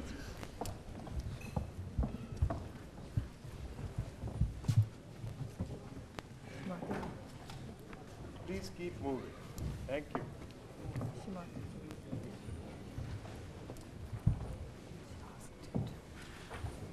वहाँ पे तो भारत में उनका तो मारने को आए सबको। नहीं बेटा ऐसा नहीं करना। बस पैर पे बस पैर पे बस। हाँ। थोड़ा स्पीडी पैर इतना नहीं रगड़ते बेटा मेरे पैर जो हैं हाँ वो सूख भैया। कृपा करके पैरों पे मत करिए। कृपा करके पैरों को पैरों को मत छुइए दूर से। बहुत देर मत रुकिए। पैरों को मत छुइए। देखिए पीछे और भाई बहन बहुत है लाइन में। बोली पैरों आपको क्या आप तो होगा खूब अच्छे से। आप जरा दूर से कर दीजिए चरणों के ऊपर मत रखिए बेशक। प्लीज़ सामने सामने। रखने में हरने पर वो एकदम रगड़ते बैठते हैं रगड़ डालेंगे पैर तो कैसे होगा? बिल्कुल आराम से आ- लगाइए बस। चलिए धन्यवाद। देखिए पीछे आपके और भाई बहन बहुत खड़े हैं। ज़्यादा नहीं है हाँ? चल रहे कल आइए कल हो जाएगा। आइए आइए। हो जाएगा कल सबका हो जाएगा। हाँ किस, किसको पूछते हैं आप किसको पूछते हैं किसको मानते हैं। हनुमान जी। आप प्रणाम करके चलिए प्लीज़। अब पूछे माँ आप साक्षात हनुमान है क्या? पूछिए। हम भी हनुमान पूछ सकते हैं ना? पूछिए। माँ आप हनुमान जी हैं? ये हनुमान जी हैं? किससे? हाँ? रुकिएगा नहीं प्लीज़ माँ हनुमान जी हैं? माँ हनुमान जी हैं? हमसे बोलो ये क्या? आप साथ साथ चलिए। क्या हनुमान जी हैं? हनुमान जी हाँ? माँ आपके आप हनुमान जी कृपया रुकिए मत। आ गए। आया ना? चलिए बहन आप भी चलिए। आप उस तरफ़ चलिए। नीचे डायस पे चलिए। चलिए जरा। प्लीज़ कीप मूविंग आ गए। आए कि नहीं? ठंडक में। हनुमान जी तो यहाँ बैठे पेट में। चलिए भाई साहब। खाते हो? तंबाकू। हनुमान जी का नाम लेके तंबाकू नहीं खा सकते। चलो कोई बात नहीं आइए। अच्छा बोलना नहीं खाऊँगा माँ। माफ़ करो पहले। आइए। माफ़ कर दिया। चलो बेटे। हमारे शाबाश। आ रहा। हुआ ना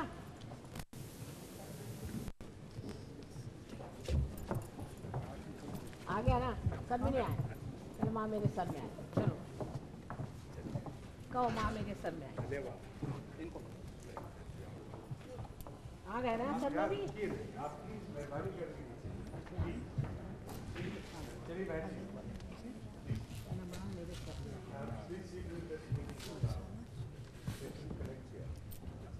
क्या बात पैरालिसिस है?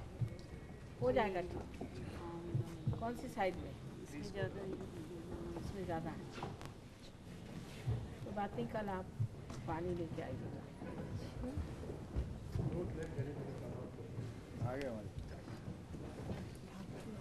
तुमने कहा और आ गए हम तुम्हारे सर में। देख के बेटा। चलो खुश। आइए। अभी होगा। कमाल।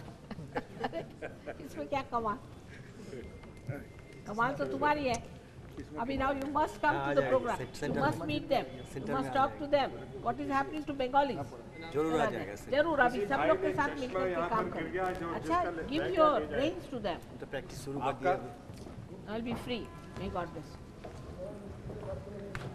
कल के आश्रम चल सफारी पार्क कल यहीं पर शाम हाँ जी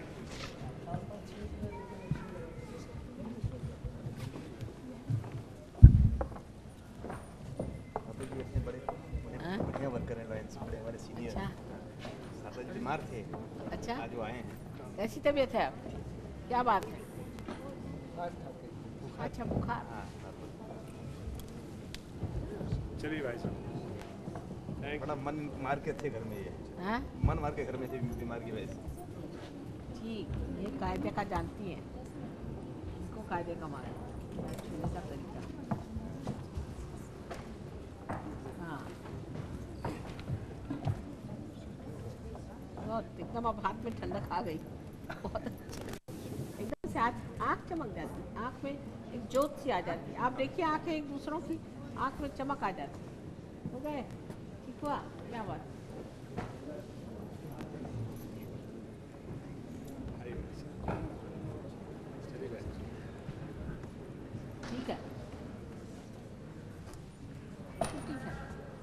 तो क्या बात तो ये जो होगा ही। हाँ। करने से होगा इसे नहीं होगा ही।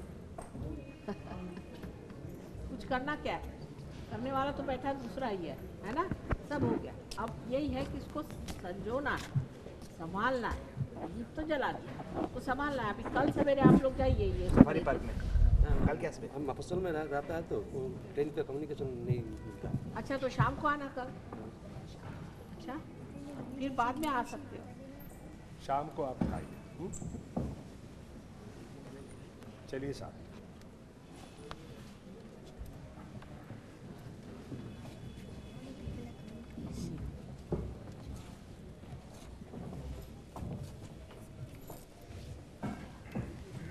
लोग हो गए पार आप लोग क्या रोज पैर छूते हैं? आप लोगों को क्या? हाँ? आप लोग तो रोज पैर छूते हैं। खूब जोरों में पूजा हुई। खूब। एकदम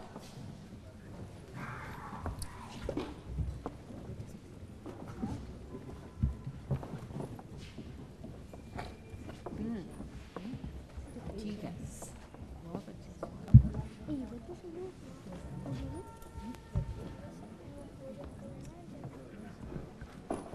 वेरी गुड बहुत क्या कहने सरकार तो कमाल कर गए वाकई में हाँ आपका क्या हाल बेटे? ठीक है? Looking much better looking much better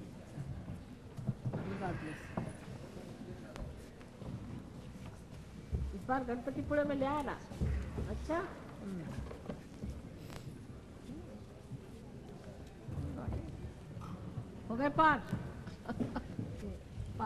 पार उतर गए संत जनारे हैं और सब मस्ती में रहो आप क्या हो गया सब नाटक खत्म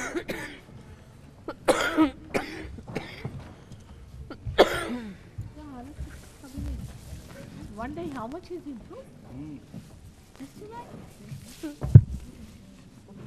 Mr. Khan's father.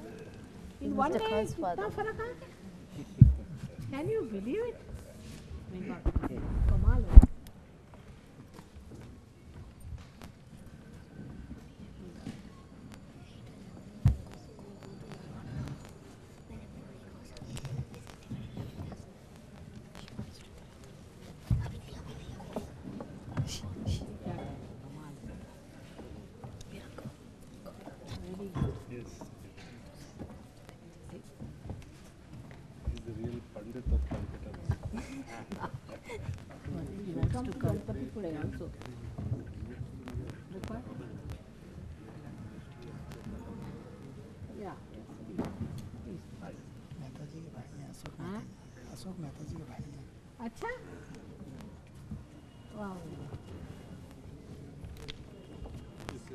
Ashok Mehta को पार हुए तो बहुत दिन हुए। आप दीक्षा लिए थे किसी से? नहीं नहीं लिए थे? थोड़ा लेफ़्ट में प्रॉब्लम है। क्या बात है? कभी कभी सिर दुखता है। हाँ राइट में आएगा अच्छा। इसे बताइए। कल इनको फ़ोटो वोटो देख करके बताइए। कल ये बताएँगे डॉक्टर साहब। आप कल जाएँगे सवेरे प्रोग्राम में? जाइए तो बता दें। सुबह आइए वहाँ पर। ऐसे है। वो आप पार गले में क्या पहने? रुद्राक्ष है? क्या है? कुछ है? रुद्राक्ष है? जनेऊ है। जनेऊ है। जनेऊ है बस। और कुछ नहीं। आया हाथ में? ठंडक आ गई ठीक से थोड़ा इधर है। ये जो है ना? ये हाथ के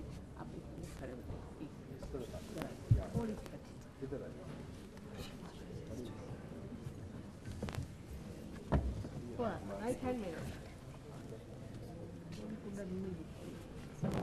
है वैसे अच्छा लेकिन बिल्कुल बिल्कुल में है।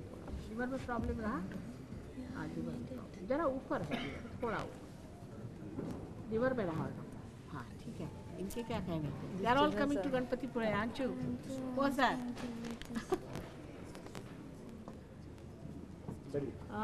thank you very much. What is it? It's a painting of She made a painting by her You hand. made it? All right. Thank you very much. May God bless. Thank you very much.